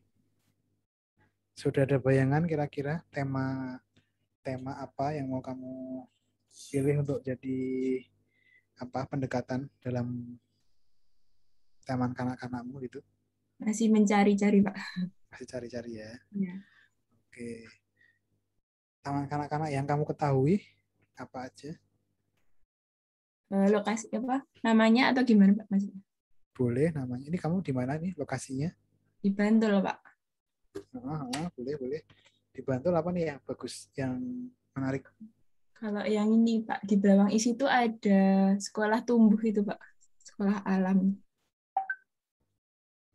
Menarik. Sekolah alam. Iya. Sekolahnya saya di alam baru gitu. itu sih, Pak. Oh, baru itu ya ya. Coba di, di, dipelajari tuh sekolah alam. eh, dia sekolahnya di di luar ruangan apa gimana gitu coba. Yang saya tahu itu jadi ada yang indoor, ada yang outdoor gitu, Pak.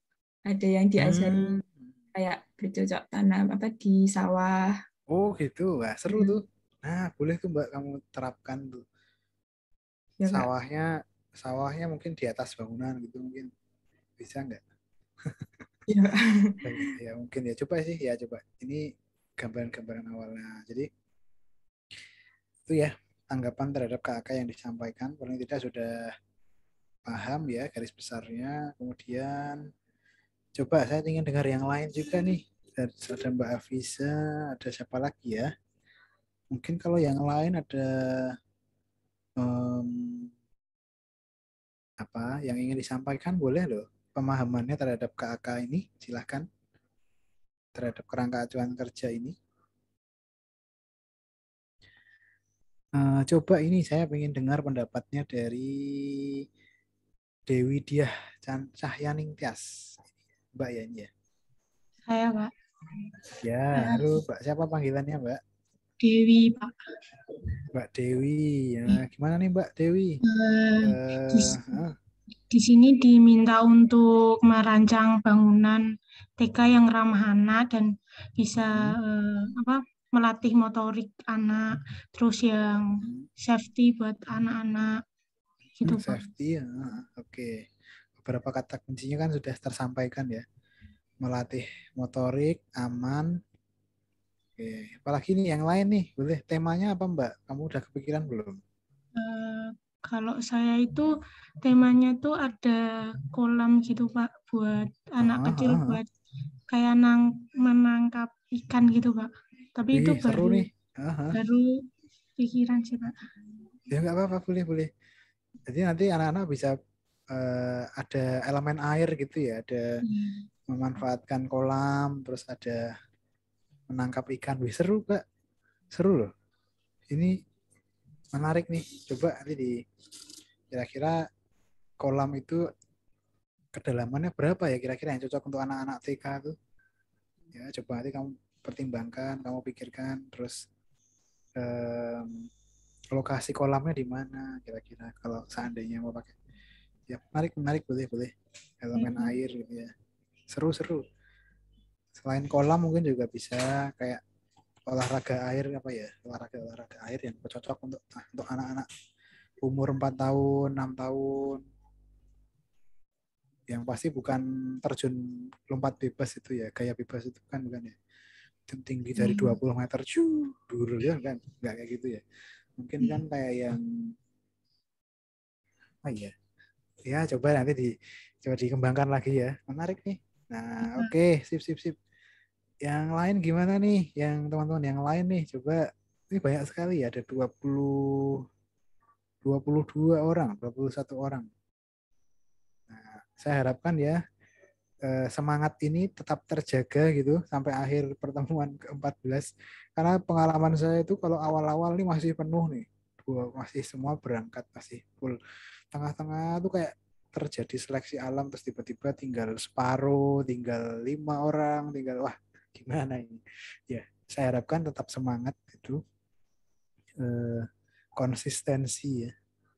Coba saya mau dengar dari Mas Raihan Azhar.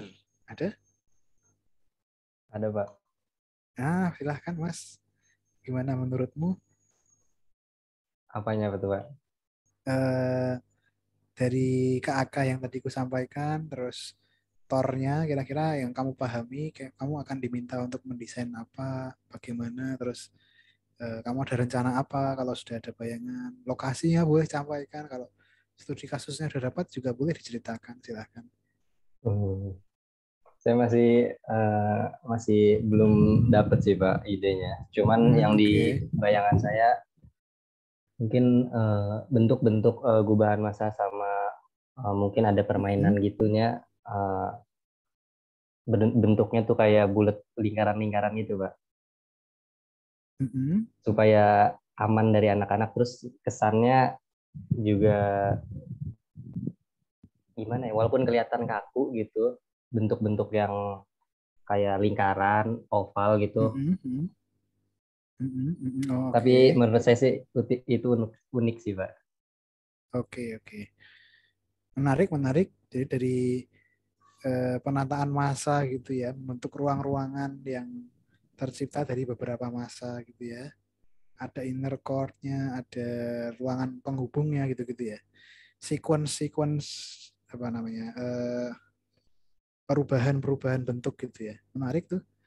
Aku ingatnya malah kayak Tadao Ando gitu kalau desain desain bangunan itu kan seperti puisi gitu loh. Dia ada elemen airnya, ada ada Ando tuh pasti kalau bikin ruangan itu eh, apa eh, menarik banget gitu untuk di merenung di situ gitu ya.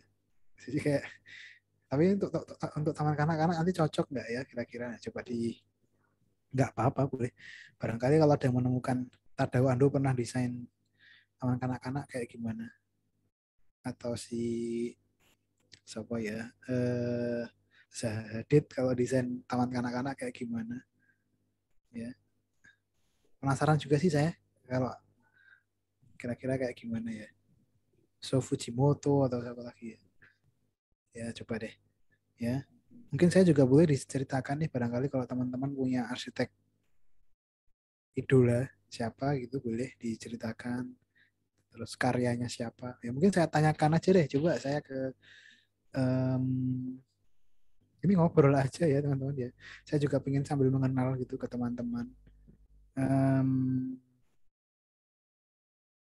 eh, Ratna Mbak Ratna Suminar. Ya Mbak Ratna ada Iya, Pak. Nah, Mbak Ratna ini ar- arsitek idolanya siapa nih Banyak sih, Pak. Wih, Tapi boleh satu, yang- satu aja yang- boleh. Yang yang paling yang di sini sih, Pak. Heeh, heeh. Itu Kang Emil. Wih, menarik, menarik. Kalau boleh diceritain itu karya yang mana atau atau kenapa kok suka sama beliau gitu, yang karena apa gitu boleh ceritain. Ya, hebat aja gitu, Pak. Dia tuh Mhm. eh, sekolah sampai S2 di luar negeri. Terus dia juga bisa jadi gubernur Jawa Barat. Heeh. Nah, dan yang salutnya itu pas pas dia diundang sama Najwa Shihab, tapi online gitu, Wah. Pak. Cara ngatasinnya tuh kayak gimana?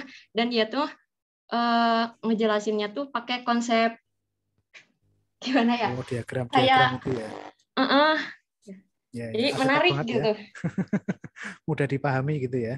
Iya. Nah, itu tuh salah satu yang akan diminta ke teman-teman juga di semester ini. Memvisualkan ide gitu. Jadi mentransformasikan. Jadi gimana sih ide yang kalian dapatkan, urutannya terus bisa jadi sampai ke bangunan gitu. Nanti mungkin saya coba tunjukkan beberapa contoh-contoh transformasi desainnya. Itu namanya transformasi. Memvisualkan gagasan. Nah, itu kelebihan arsitek loh. Karena arsitek itu bisa beri- berimajinasi ya, merencanakan gitu. Jadi kalau mau pilih suami, mau pilih istri, kalau sama arsitek tuh pasti direncanakan dengan baik. Mau merencanakan gedung aja pinter, apalagi merencanakan kehidupan bersama kan. Iya enggak? Ya kan? Dan teman-teman yang masih pada single-single ini kan disiapkan gitu, merencanakan ke depan. Nah, oke. Eh, Pak Ridwan Kamil ya. Menarik, menarik, seru sekali sebagai eh, sebagai arsitek. Arsitek itu memang banyak yang terjun di dunia pemerintahan ya. Pak Karno, Bung Pak Soekarno kan dulu juga arsitek juga ya. Ya itu. Terus dari arsitek juga jadi bintang film ya banyak karena seni peran ya kan. Eh, si siapa tuh namanya? Nicholas Saputra itu banyak banget. Terus jadi musisi juga ada kan banyak arsitek dari ya, ya. Jadi menurutku arsitektur sekolah di arsitektur itu mem, eh, membuka passion ya. Passion itu apa sih passion? Passion itu eh, kesenangan hatinya ke mana gitu. Ya, oke ya. Nah, oke deh. Saya mau dengar lagi yang lain. Arsitek idolanya siapa? Ya terus kenapa kok suka sama orang itu gitu? Apa dari karyanya yang mana? Apa dari eh, silahkan boleh ceritakan aja. Siapa ya? Hmm, siapa nih? Abu Hanifah. Ini Mbak atau Mas Abu Hanifah ada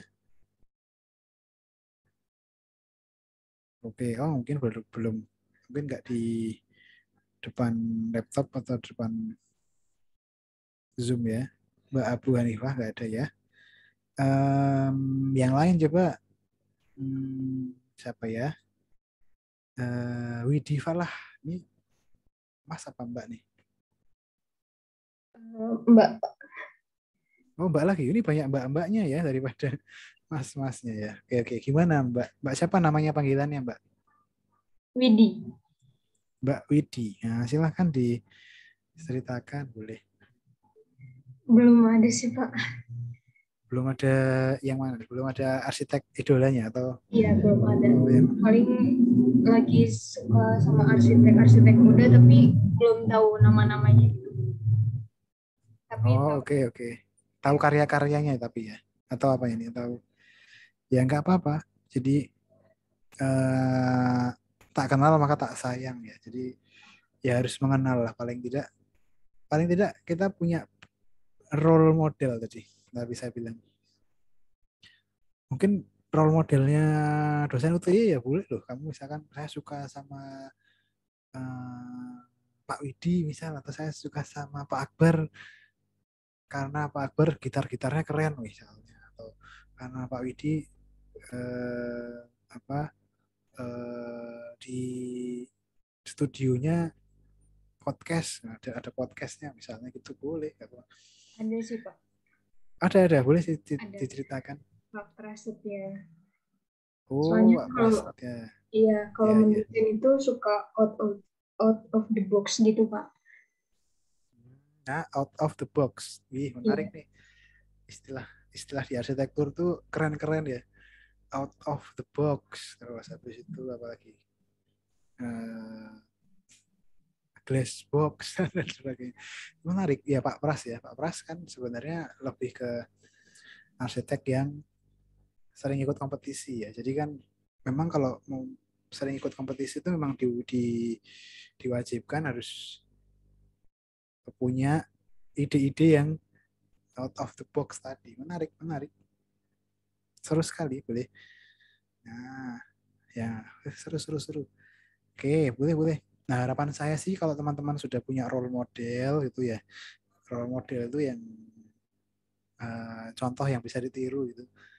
Ya, diikuti dengan baik gitu. Gimana gimana sih dia bisa jadi seperti itu gitu. Dulu dulu ngapain aja misalnya sekolahnya gitu. diikuti aja. Tanya sama orangnya langsung lebih bagus pak. Bu saya tuh mengidolakan anda. Saya ingin belajar dari bapak ibu. Gimana caranya supaya bisa seperti bapak atau seperti ibu gitu. Menarik bagus.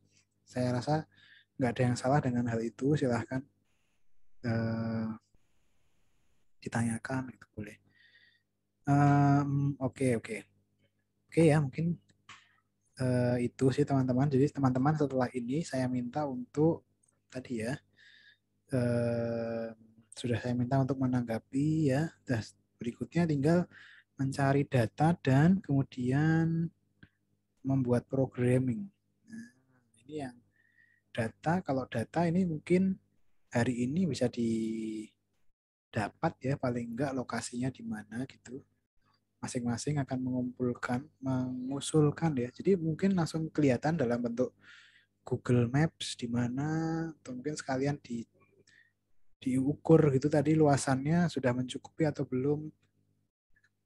Hmm, sudah tahu belum ya caranya menghitung luasan site menggunakan Google Maps teman-teman atau atau Google gitu. Paling dari Google Earth sih, Pak. Nah, ya Google Earth. Ah, benar. Bukan Kemarin Google Maps, pakai itu sorry. soalnya.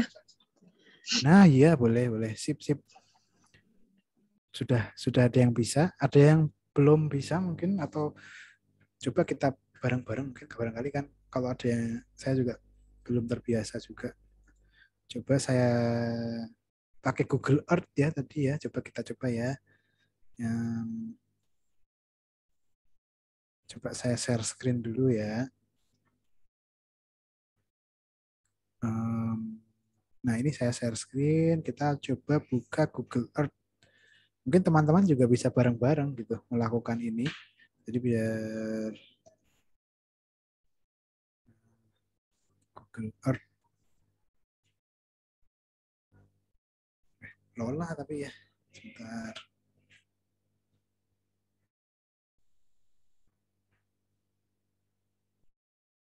Nah, ini nih sudah muncul. Terus coba kita cari ya karena saya kebetulan di Jogja ya Yogyakarta gitu. Wah, ini mungkin kamu bisa masukkan lokasimu sekarang aja, tempat tinggalmu di mana, masukkan. Terus, nah misalkan ini saya di Yogyakarta. Nah, ini misalkan saya ambil lokasi di sini deh. Ini di mana nih? Lapangan Pemda atau di mana ya? Ya, coba ini cuma coba-coba aja misalnya ya. Nah, kita coba hmm, mana ya? Coba ini apa nih? Measure distance and area. Mungkin ini mungkin. Nah, coba ini.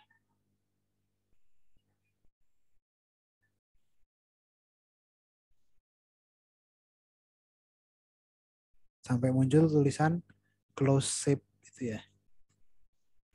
Nah, ini bisa langsung muncul nih teman-teman di layar. Kelihatan nggak ya? Di sini kan perimeter itu berarti artinya adalah keliling.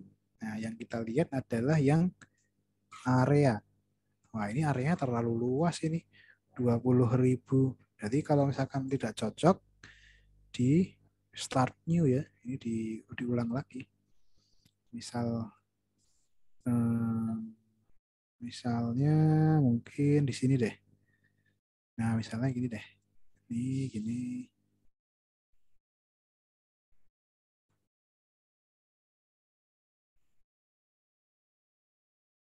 Gue masih besar juga 6000.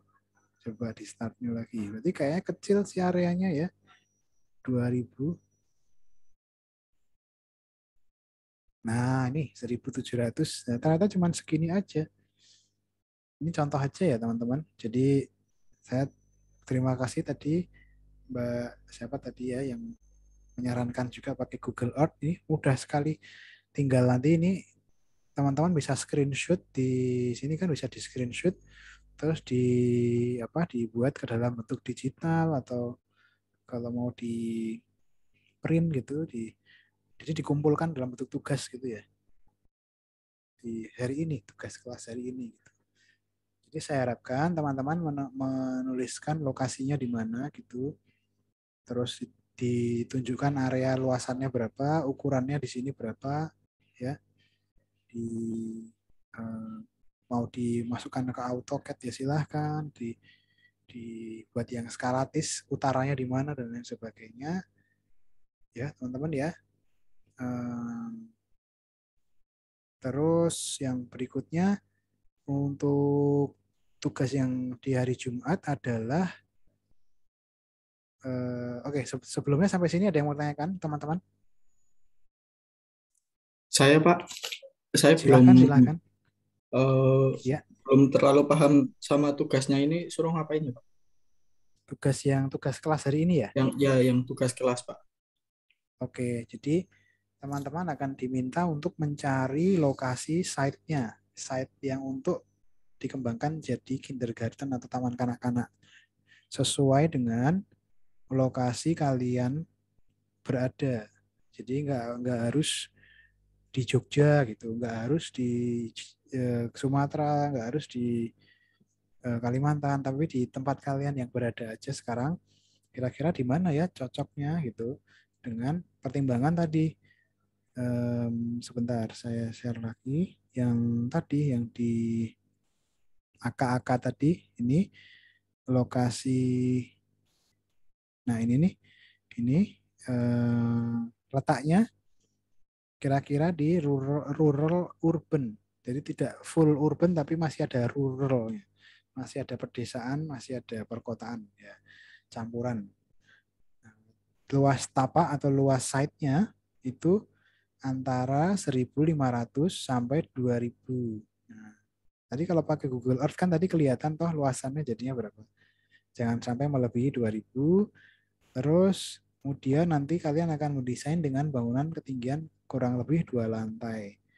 Jumlah masanya tidak dibatasi, bisa lebih dari satu. Ya. Nah, untuk hari ini teman-teman mencari ini lokasi yang kira-kira eh, cocok dijadikan eh, kindergarten.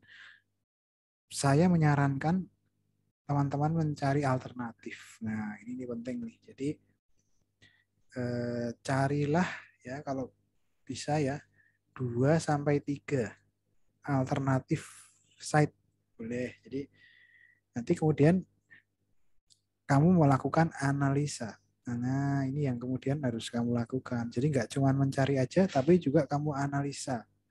Cocok nggak? Kelebihan dan kekurangannya apa kalau untuk kindergarten? Kamu lihat deh, misalnya lokasimu di sini gitu ya. Terus kamu lakukan analisa perimeter. Oh, ternyata di sekitar lokasi site saya itu sudah ada banyak kindergarten juga. Ya berarti cocok, ya kan? Ya kan? Misalnya kalau di Jogja itu di Jalan Lempong Sari di dekat di dekat apa Jalan Palagan itu satu ruas jalan utara ke selatan itu banyak sekali kindergarten. Nanti mungkin saya tunjukkan via Google Map. Ya udah berarti kan di situ memang cocok jadi kindergarten kan. Itu nilai tambah, nilai tambah. Nah, nilai kurangnya apa misalnya? nilai kurangnya misalnya aksesnya hanya bisa satu arah misalnya hanya bisa dari arah utara itu misalkan kekurangannya terus kekurangan yang lain misalnya eh, lahannya tidak rata misalnya berkontur misalnya itu kan bisa jadi nilai negatif gitu ya misalnya itu ini tergantung kalian sih menemukan apa saja data itu tadi maka ini harus data ini harus kalian dapatkan ya. Harus kalian cari di sekitar site ada apa aja. Um, bagaimana tingkat apa namanya kemudahan pencapaian. Kan dulu kayaknya pernah diajarin ya analisa site ya, teman-teman ya, ya kan? Di di mata kuliah analisa tapak ya. Benar ya? Ya, Pak. Uh, Iya kan? Iya benar ya. Analisa tapak kan pernah diajarin ya. Nah, itu kalian terapkan nih sekarang di sini. Nah, nanti um, apa? Nah, ini nih apa uh, kalau ini sudah yang hasil akhir ya. Nah, ini nih keamanan dan kenyamanan gimana tuh? Zonanya di sana gimana? Terus konektivitas. Ini kayaknya sudah masuk ke desain. Ya menurut saya ya analisis secara umum aja. Pencapaian ke site, kemudian apalagi kondisi topografi, ya, eh, apakah ada eh, kontur atau tidak, atau mungkin juga ada yang memasukkan kontur itu menjadi nilai plus itu ya boleh-boleh aja, karena analisis setiap orang mungkin bisa beda-beda ya. Barangkali ini secara tidak sengaja ada yang mengambil site yang sama, barangkali loh saya juga nggak tahu nih. Kan 20 orang kan bisa jadi dapat site menemukan site yang sama. Tapi ternyata di analisis si A mengatakan bahwa positifnya itu kontur gitu. Karena dia mau bikin sesuai dengan temanya ada uh, kontur memanfaatkan kontur dan lain sebagainya. Dia jadikan uh, data itu sebagai elemen positif nah tapi menurut si B karena dia itu ingin memanfaatkan tema uh, apa namanya uh, bangunan utama yang ada inner court maka dia tidak membutuhkan kontur maka dia menganggap kontur itu sebagai nilai negatif itu itu juga boleh-boleh aja. Nah ini saya akan meminta ke teman-teman gitu analisis terhadap site-nya gitu. Jadi site-nya dipilih. Nah harapannya apa? Tadi yang sudah eh, misalkan ada dua dua alternatif site ya, ya dua alternatif. Alternatif site satu alternatif dua nanti di breakdown positifnya apa aja. Terus kemudian di akhir di, memilih. Saya memilih alternatif site 1 karena apa? Karena lebih cocok untuk tema yang akan saya gunakan. Misalkan tema-tema tadi ada tema alam, tema eh, keterbukaan, tema air, tema apa lagi dan lain sebagainya itu saya pilih karena cocok gitu. Nah, harapan saya sih itu ya teman-teman. Jadi tidak hanya sekedar memilih site tapi teman-teman juga melakukan pertimbangan atau analisis kenapa kok site itu yang dipilih. Ya, paling mudah sih membandingkan dari dua site, kemudian memilih site ini yang eh, lebih cocok dikembangkan untuk kindergarten atau taman kanak-kanak. Gitu. Dari segi keamanan, dari segi ketercapaian menuju site, dari segi view apa uh, view uh, view keluar, view ke dalam, topografi, wah semua yang sudah pernah kamu pelajari ketika untuk menganalisis gunakanlah bebas silakan. Ya, gitu teman-teman. ini tugas kelas. Jadi kalau bisa ya uh, setelah ini dikerjakan langsung nanti kita kumpulkan di hari ini gitu. Nah, sampai di sini ada yang mau ditanyakan terkait tugas kelas? Izin bertanya, Sudah dipahami ya? Silahkan, silahkan, silahkan, Mbak. Untuk pengumpulannya nanti jam berapa gitu, Pak? Atau gimana? Oke, nah eh, pengumpulannya nanti via e-learning ya. Eh, di e-learning nanti akan saya buatkan assignment. Pengumpulannya nanti kita tetap hari ini, tapi mungkin nggak di jam 4, tapi mungkin nanti jam 9 malam gitu ya. Jadi jadi biar teman-teman kan eh, proses kreatifnya itu berjalan gitu. Saya tapi juga nggak tahu sih kadang-kadang kreatif itu muncul karena kepepet juga ya. Jadi ya saya serba salah nih. Kadang-kadang kalau kalau diberi waktu yang terlalu panjang itu jadinya nggak selesai karena menunda-nunda. Tapi ada juga yang dia itu akan kreatif kalau waktunya kepepet. Gimana nih? Saya manut aja deh ke persetujuan di kelas. Karena kan yang akan mengerjakan kan kalian gitu. Mau dikumpulkan di jam 9 malam gitu. Atau mau atau wah jam 9 malam itu terlalu lama di jam 5 sore aja misalnya. Bebas silahkan. Persetujuan aja. Mundurin lagi aja. Dimundurin lagi. Jadi Iya, jam Pak. berapa jadi jam berapa atau dimundurin dari jadi minggu depan gitu? Gimana nih? Karena kan gini ya tugasnya itu nggak cuman ini studio ya. Kalau cuman ini wah sudah saya minta kerjakan besok-besok aja. Tapi tugasnya itu ada banyak. Ini tadi yang saya ceritakan di ini nih ya fase 1 fase 2 ini nih nah apalagi ini besok ada gambar-gambar situasi setan dan lain-lain sebagainya. Saya sih malah kepikirannya kalau kita bisa berangkat lebih awal gitu kita bisa lebih selesai lebih cepat gitu. Jangan nunggu jangan nunggu nunggu besok ya kan? Itu misalnya. Saya tetap sepakat kalau mau diundur tapi saya eh, setuju tetap hari ini gitu. Jadi jangan karena tugas kelas kan pada dasarnya ya dikerjakan di hari yang sama gitu. monggo silahkan mau jam 9 jam 11 jam 12 jam 10 jam jam 6 sore jam 12, Apa?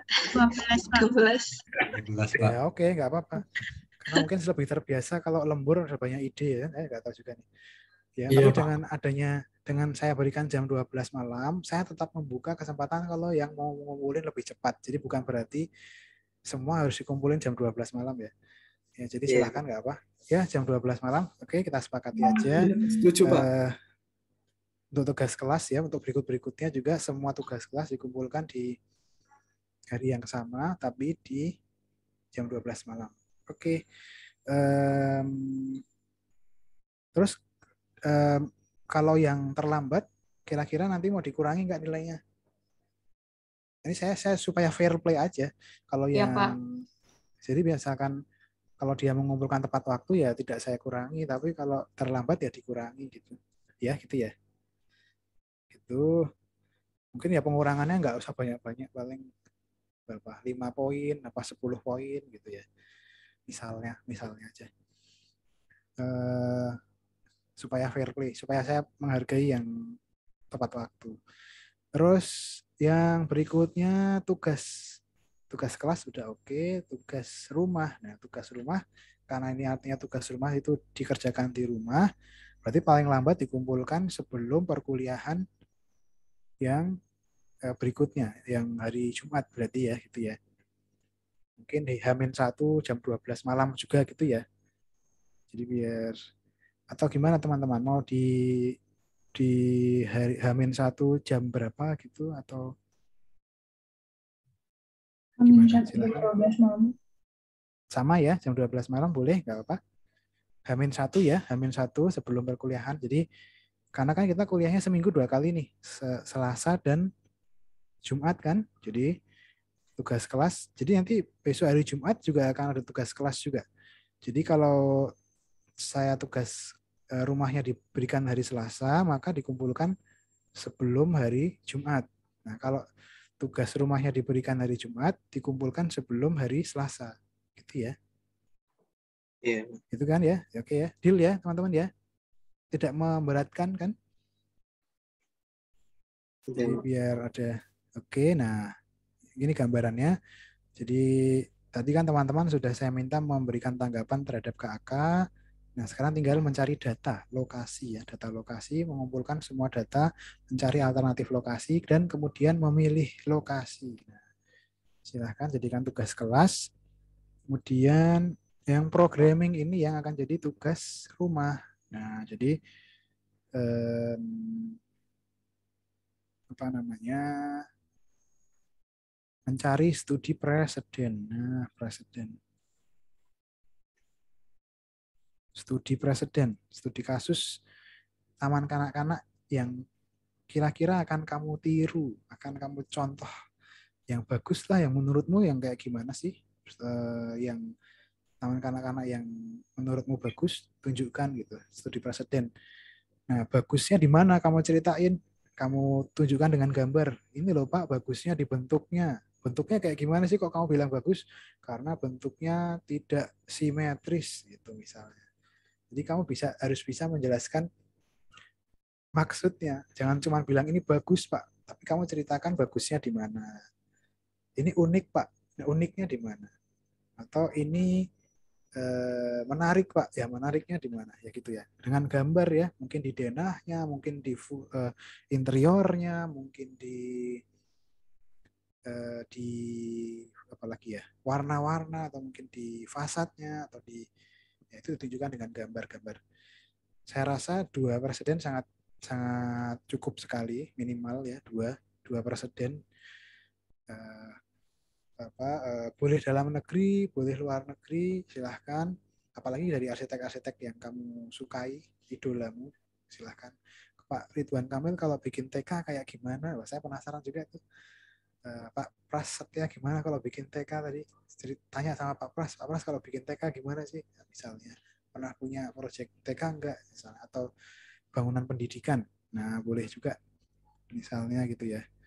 Uh, jadi intinya adalah teman-teman akan amati tiru dan memodifikasi dari presiden teman-teman yang temukan gitu nah misalnya apa saja yang bisa ditiru misalnya dari programmingnya dari program ruangnya. Program ruang itu ya misalkan ada ruang bermain anak, ruang bermain anaknya apa aja sih misalnya. Ruangannya seperti apa sih isinya, furniturnya itu ditiru nanti. Ya, itu programming gitu. Itu akan kita bicarakan besok Jumat. Jadi akan kita jadikan dasar untuk kita berdiskusi gitu ya. Oke, teman-teman. Apakah ada yang mau ditanyakan terkait uh, ini? fase Izin satu. Bertanya, Pak. Iya, silahkan. Buat tugas rumahnya kan yang uh, cari presidennya kan, Pak. Nah, itu kan hmm. nanti kita lihat contohnya itu yang fasad luar atau juga dalam gitu, Pak. Oh, oke. Okay. Yang yang yang dilihat apa aja gitu ya. Menurut saya, selama kamu bisa dapat semuanya, ya bagian luar, bagian dalam, bagian eksterior, bagian interior, ruang luar, ruang dalam, selama itu menurutmu bagus dan bisa ditiru ya ambil aja, di, di, ditunjukkan aja gitu. Ya, ini kan dari browsing browsing ya dari internet kan. Nah maka kalau bisa cari-cari yang gambarnya lengkap gitu, yang ada denahnya, ada denahnya, ada ukurannya, ada nama ruangnya, jadi enggak jadi nggak menyusahkan diri sendiri. Nemu eh, menemukan presiden tapi gambarnya blur kan jadi susah. Ya misalnya ya eh, menemukan presiden tapi bahasanya bahasa Rusia. Wah kan jadi susah. Carilah yang di website-website eh, apa yang umum gitu yang bisa dipakai misal Arts Daily apa Dezin apa Habitat apa eh, kan banyak ya website-website yang eh, apa mencari membantu mencari eh, presiden-presiden ini gitu pakai Pinterest ya boleh Pinterest tapi biasanya Pinterest itu cuman secuplik aja gitu. Lebih lengkapnya biasanya masuk ke website yang lain gitu. Jadi mungkin di Pinterest kamu amati nama bangunannya. Nama bangunannya apa sih? Terus kamu browsing lagi di Google cari yang lebih lengkap gambarnya. Itu ya. Jadi ini sebenarnya saya akan melihat gitu. Kamu eh, kira-kira tuh akan meniru bagian mananya gitu. Kamu ceritakan besok di hari Jumat, Pak saya menemukan bangunan ini yang menurut saya bagus, bagus di bagian fasadnya, tapi saya tidak merasa bagus di bagian dalamnya misalnya. Dalamnya seperti ini gitu. Nggak bagusnya di mana misalnya. Ceritakan aja. Jadi apa yang bisa kamu pelajari dari studi presiden itu ceritakan. Ya. Um, gitu. Silahkan kalau ada yang mau bertanya lagi silahkan boleh. Maaf Pak mau tanya lagi. Kalau misalkan yeah, yeah. saya dapat contoh, nah contohnya lengkap nih misal kayak yang bagian luar sama ruangan dalam tuh lengkap sama dinas hmm. nah tapi sip sip tapi terus dapat lagi ruang luarnya tuh bagus ada gambar lagi gitu loh pak tapi dia nggak iya, lengkap yeah, yeah. gambarnya sama yang bagian dalam gitu kita boleh mengkombinasi gitu nggak sih pak kayak boleh. yang bagian dalam ruangannya apa indoornya tuh kayak gini uh. tapi yang luar tuh gambarnya beda lagi gitu pak boleh sekali Mbak. Malah menurut saya itu sangat bagus. Jadi jangan cuma ambil dari satu aja. Beberapa presiden. Lebih dari itu bagus. Sangat sangat saya sarankan. Yang terutama apalagi yang masuk ke dalam tema yang akan kamu jadikan konsepmu. Jadi kamu udah ada bayangan nih. Kamu kan mencari kata kunci kindergarten kan mungkin nggak cuma kindergarten aja, tapi tambahin kindergarten nature atau apa kindergarten uh, uh, aqua apa aquascape apa yang berhubungan dengan air itu boleh banget nggak masalah ya jadi silahkan uh, tapi paling tidak kamu perlu menyebutkan nama bangunannya apa di mana gitu. Jangan cuma gambar aja. Jangan cuma gambar dari internet terus kemudian kamu ambil. Tapi kamu perlu tahu itu nama bangunannya apa fungsinya apa. Misalnya taman kanak-kanak itu atau mungkin ternyata museum gitu misalnya. Tuliskan aja. Jadi informasi-informasi itu bisa didapat. Gitu. Harapannya bisa sampai ke program ruang juga. Harapannya sampai ke denahnya ya. Kamu bisa dapat gambaran ruangan-ruangannya itu apa aja gitu yang yang bisa dimasukkan. Gitu. Gitu ya, Mbak ya. Terima kasih, Pak. Aha. Oke, sip sip sip. Bagus. Sudah ada bayangan ya, paling tidak tuh mau ngapain gitu. Oke, ada lagi selain Mbak uh, uh, Karis? ya, silahkan. Izin bertanya. Ya, ini boleh, saya boleh. Cuma mau uh, apa ya, mau perjelas aja sih. Mau tanya ya, ini ya, berarti ya. tugas tugas kelasnya ini nanti uh, meng, apa ya? Hmm. mencari site ya. gitu, Pak. Uh -uh. Buat, buat tugas kelasnya mencari site terus tugas rumahnya ini berarti menganalisis presiden ya, Pak. Yes. Oh iya, siap. Yes. Terima kasih Pak. Atau lebih tepat, mau lebih tepatnya. Yes, yes, benar-benar. Jadi ada dua tugas ya, tugas kelas dan tugas rumah ya. Tugas kelasnya mencari site ya, berdasarkan beberapa alternatif site yang kamu pilih gitu. Dan kamu lakukan analisis kenapa kok site-nya itu kamu pilih gitu. Bagusnya di mana gitu kamu ceritakan. Pakai gambar ya. Eh, terus karena kan kita arsitektur ya, arsitektur kan gambar ya bukan bercerita. Kalau bercerita nanti marketing jadinya. Jadi gambarnya diceritain bagusnya di mana gitu. Nah, tugas rumah mencari dan menganalisis presiden. Jadi yang mencari juga kamu sendiri. Presidennya dari kamu sendiri yang menurutmu bagus bagusnya di mana gitu. Loh Pak, bagusnya di fasadnya kalau kalau ada angin dia bisa gerak-gerak gitu misalnya. Nah, itu ini saya ingin jadikan untuk konsep motorik apa pertumbuhan anak misalnya. Jadi kalau nanti gerak-gerak nanti muncul jadi huruf A, misalnya nanti kalau gerak-gerak lagi jadi huruf B misalnya, misalnya misalnya gitu. Uh, oh bagus lagi nih Pak di area bermainnya itu dia mengutamakan safety. Jadi dia material-materialnya dari material-material ramah anak pakai kayu apa itu misalnya itu itu kan salah satu cara me, me, apa menceritakan bagusnya atau Eh, menariknya presiden itu di mana gitu. Yang harapannya, harapannya tidak hanya sekedar kamu ceritakan bagusnya, tapi bisa kamu aplikasikan untuk desainmu gitu. Sesuai dengan temamu gitu. Ya, terima kasih, ya. Pak. Ya, oh, ya Pak, sip, sip. mau tanya lagi ya. satu ya, buat ha, ha. site lahannya itu di hmm. lahan kosong atau boleh ada yang uh, sudah ada bangunannya, Pak? Wah, ini menarik nih, menarik, menarik. Karena sebenarnya kita itu kan masih belajar ya. di studio apalagi di kampus gitu. Kita bisa saja sebenarnya menganggap site itu kosong udah gitu aja. Karena esensinya kita kan belajar mendesain bukan belajar untuk eh, apa namanya eh, mencari lokasi yang benar-benar kosong gitu. Nggak nggak apa-apa. Menurut saya esensinya itu lebih dari itu nanti. Kita belajar mendesain aja boleh mau nanti ditiadakan di dianggap kosong itu silahkan nggak apa-apa. Yang penting kamu ada analisis tadi loh.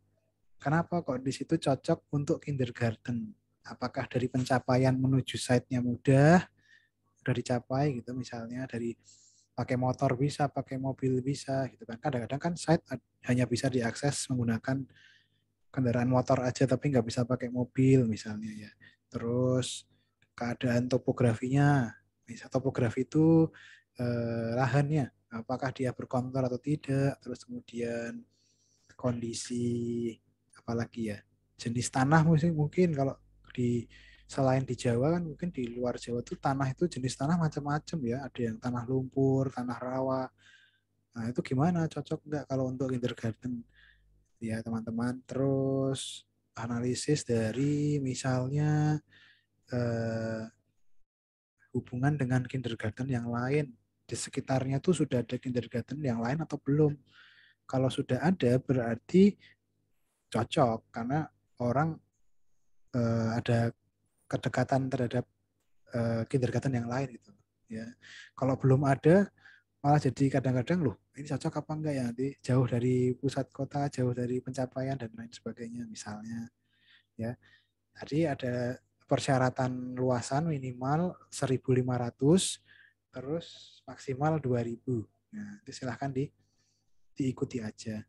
Pakai Google Earth tadi bisa atau mau pakai cara yang lain silahkan nggak masalah. Di screenshot, di um, di print, terus nanti di scan atau gimana, yang penting bisa dikumpulkan di e-learning ya teman-teman. E-learning kita hari ini di e-learning kita akan terus kita gunakan tetap uh, sampai pertemuan yang 14 jadi silahkan yang belum join segera.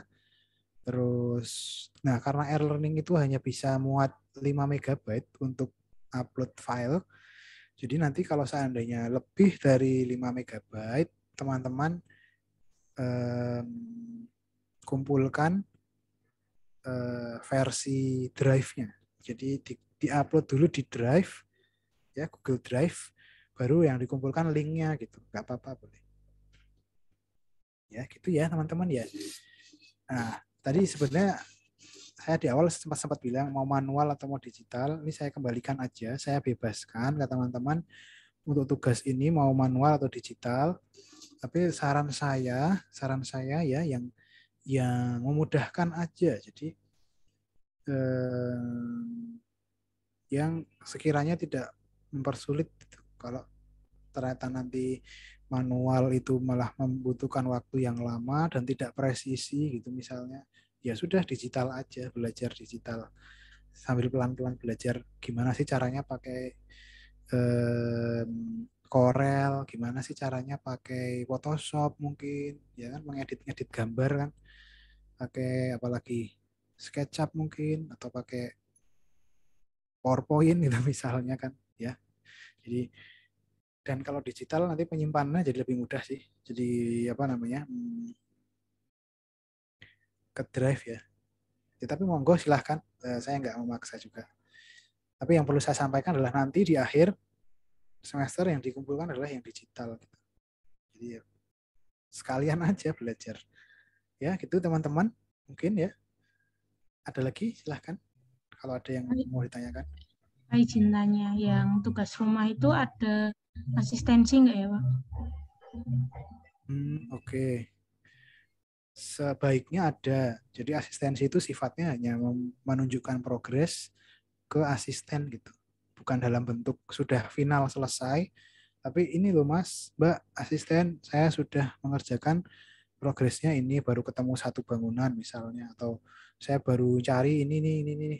Bingung kira-kira yang bagus yang mana. Cuman gitu aja sifatnya asistensi. Nanti mungkin bisa di eh, ke asisten ya di uh, WhatsApp ya. Sifatnya tidak wajib selama yang saya ketahui, saya ketahui ya asistensi itu, tapi akan sangat membantu menurut saya ya. Jadi paling tidak tuh kamu bisa bertanya ke asisten, ini yang saya lakukan sudah benar atau belum gitu, sudah sudah um, tepat atau belum gitu. Asisten kita udah join belum ya? Saya masih Oke deh, nanti saya coba kontak asisten dulu ya. Oke, bagus. Baik, Pak. Terima Oke. kasih. Ya, sama-sama, Mbak. Oke ya, teman-teman. Ada lagi? Silahkan. Kalau ada, silahkan ditanyakan. Oke deh. Learningnya kayaknya udah update, Pak. Udah maksimal 40 MB. Oh ya? Oh, bagus. Iya, kalau misalkan Oke, ya bagus bagus Mas. Terima kasih informasinya nanti. Eh, bagus itu. Wah, karena kan itu masalah server ya. Jadi kadang-kadang tuh memang dibatasi 5 MB supaya servernya nggak penuh. Ya, tapi ya misalkan kalau seandainya nanti tidak cukup ya pakai drive tadi ya teman-teman ya. Jadi eh, ini aja biar teman-teman nggak kesulitan gitu.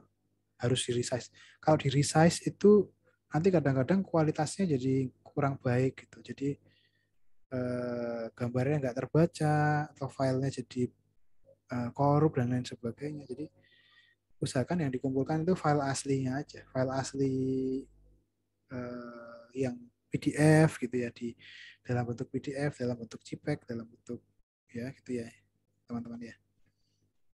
Oke, um, mungkin nanti ke depan akan ada kayak misalnya pakai cop dan lain sebagainya barangkali kalau ada cop kertas A3 yang ada kopnya jadi uh, ada namamu ada tugas keberapa dan lain sebagainya. Gitu sih kayaknya. Nanti kalau sudah saya koordinasikan dengan asisten ya teman-teman. Gitu. Uh, barangkali kalau ada lagi silahkan boleh kita diskusikan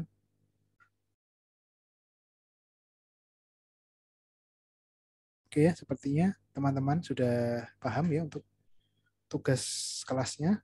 Mungkin ya, kalau misalkan tidak ada tidak ada yang ditanyakan, mungkin bisa dilanjutkan dengan mengerjakan tugas kelas gitu ya. Jadi jadi saya tutup aja nggak apa-apa zoomnya. Jadi biar teman-teman mengerjakan di eh, apa lokasinya masing-masing, tempatnya masing-masing. Silahkan kadang-kadang kan browsing tuh butuh koneksi juga nih ngezoom sambil browsing tuh lola gitu ya. Jadi ya oke okay deh kita uh, cukupkan aja sepertinya zoomnya.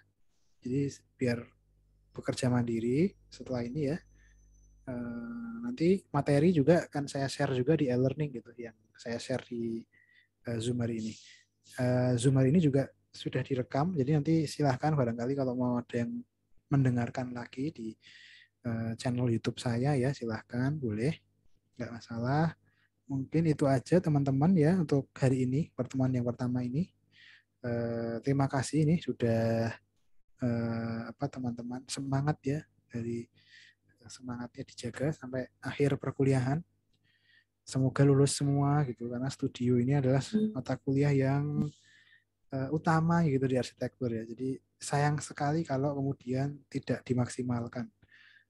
Karena ini 8 SKS ya 8 itu besar sekali. Kalau ini dapat A, wah itu nanti bisa mendongkrak nilai IPK ya. Tapi kalau dapat C, waduh sayang sekali nanti bisa menghancurkan mimpi-mimpi dan lain sebagainya. Jadi saran saya ya, kalau mau nilainya baik ya ikuti perkuliahan dengan baik, semangat, kumpulkan semua tugasnya dengan baik ya. Eh, bahkan kalau kamu bisa lebih maksimal lagi bisa dapat nilai A gitu gampang apalagi kalau studio ini dapat nilai A itu gampang. Yuk. Oke ya, pasti bisa teman-teman. Oke, mungkin itu aja ya saya tutup perkuliahan per pertama ini. Terima kasih. Uh, Assalamualaikum warahmatullahi wabarakatuh. Waalaikumsalam warahmatullahi wabarakatuh. Terima kasih Pak. Terima kasih Pak. Mari, mari terima kasih.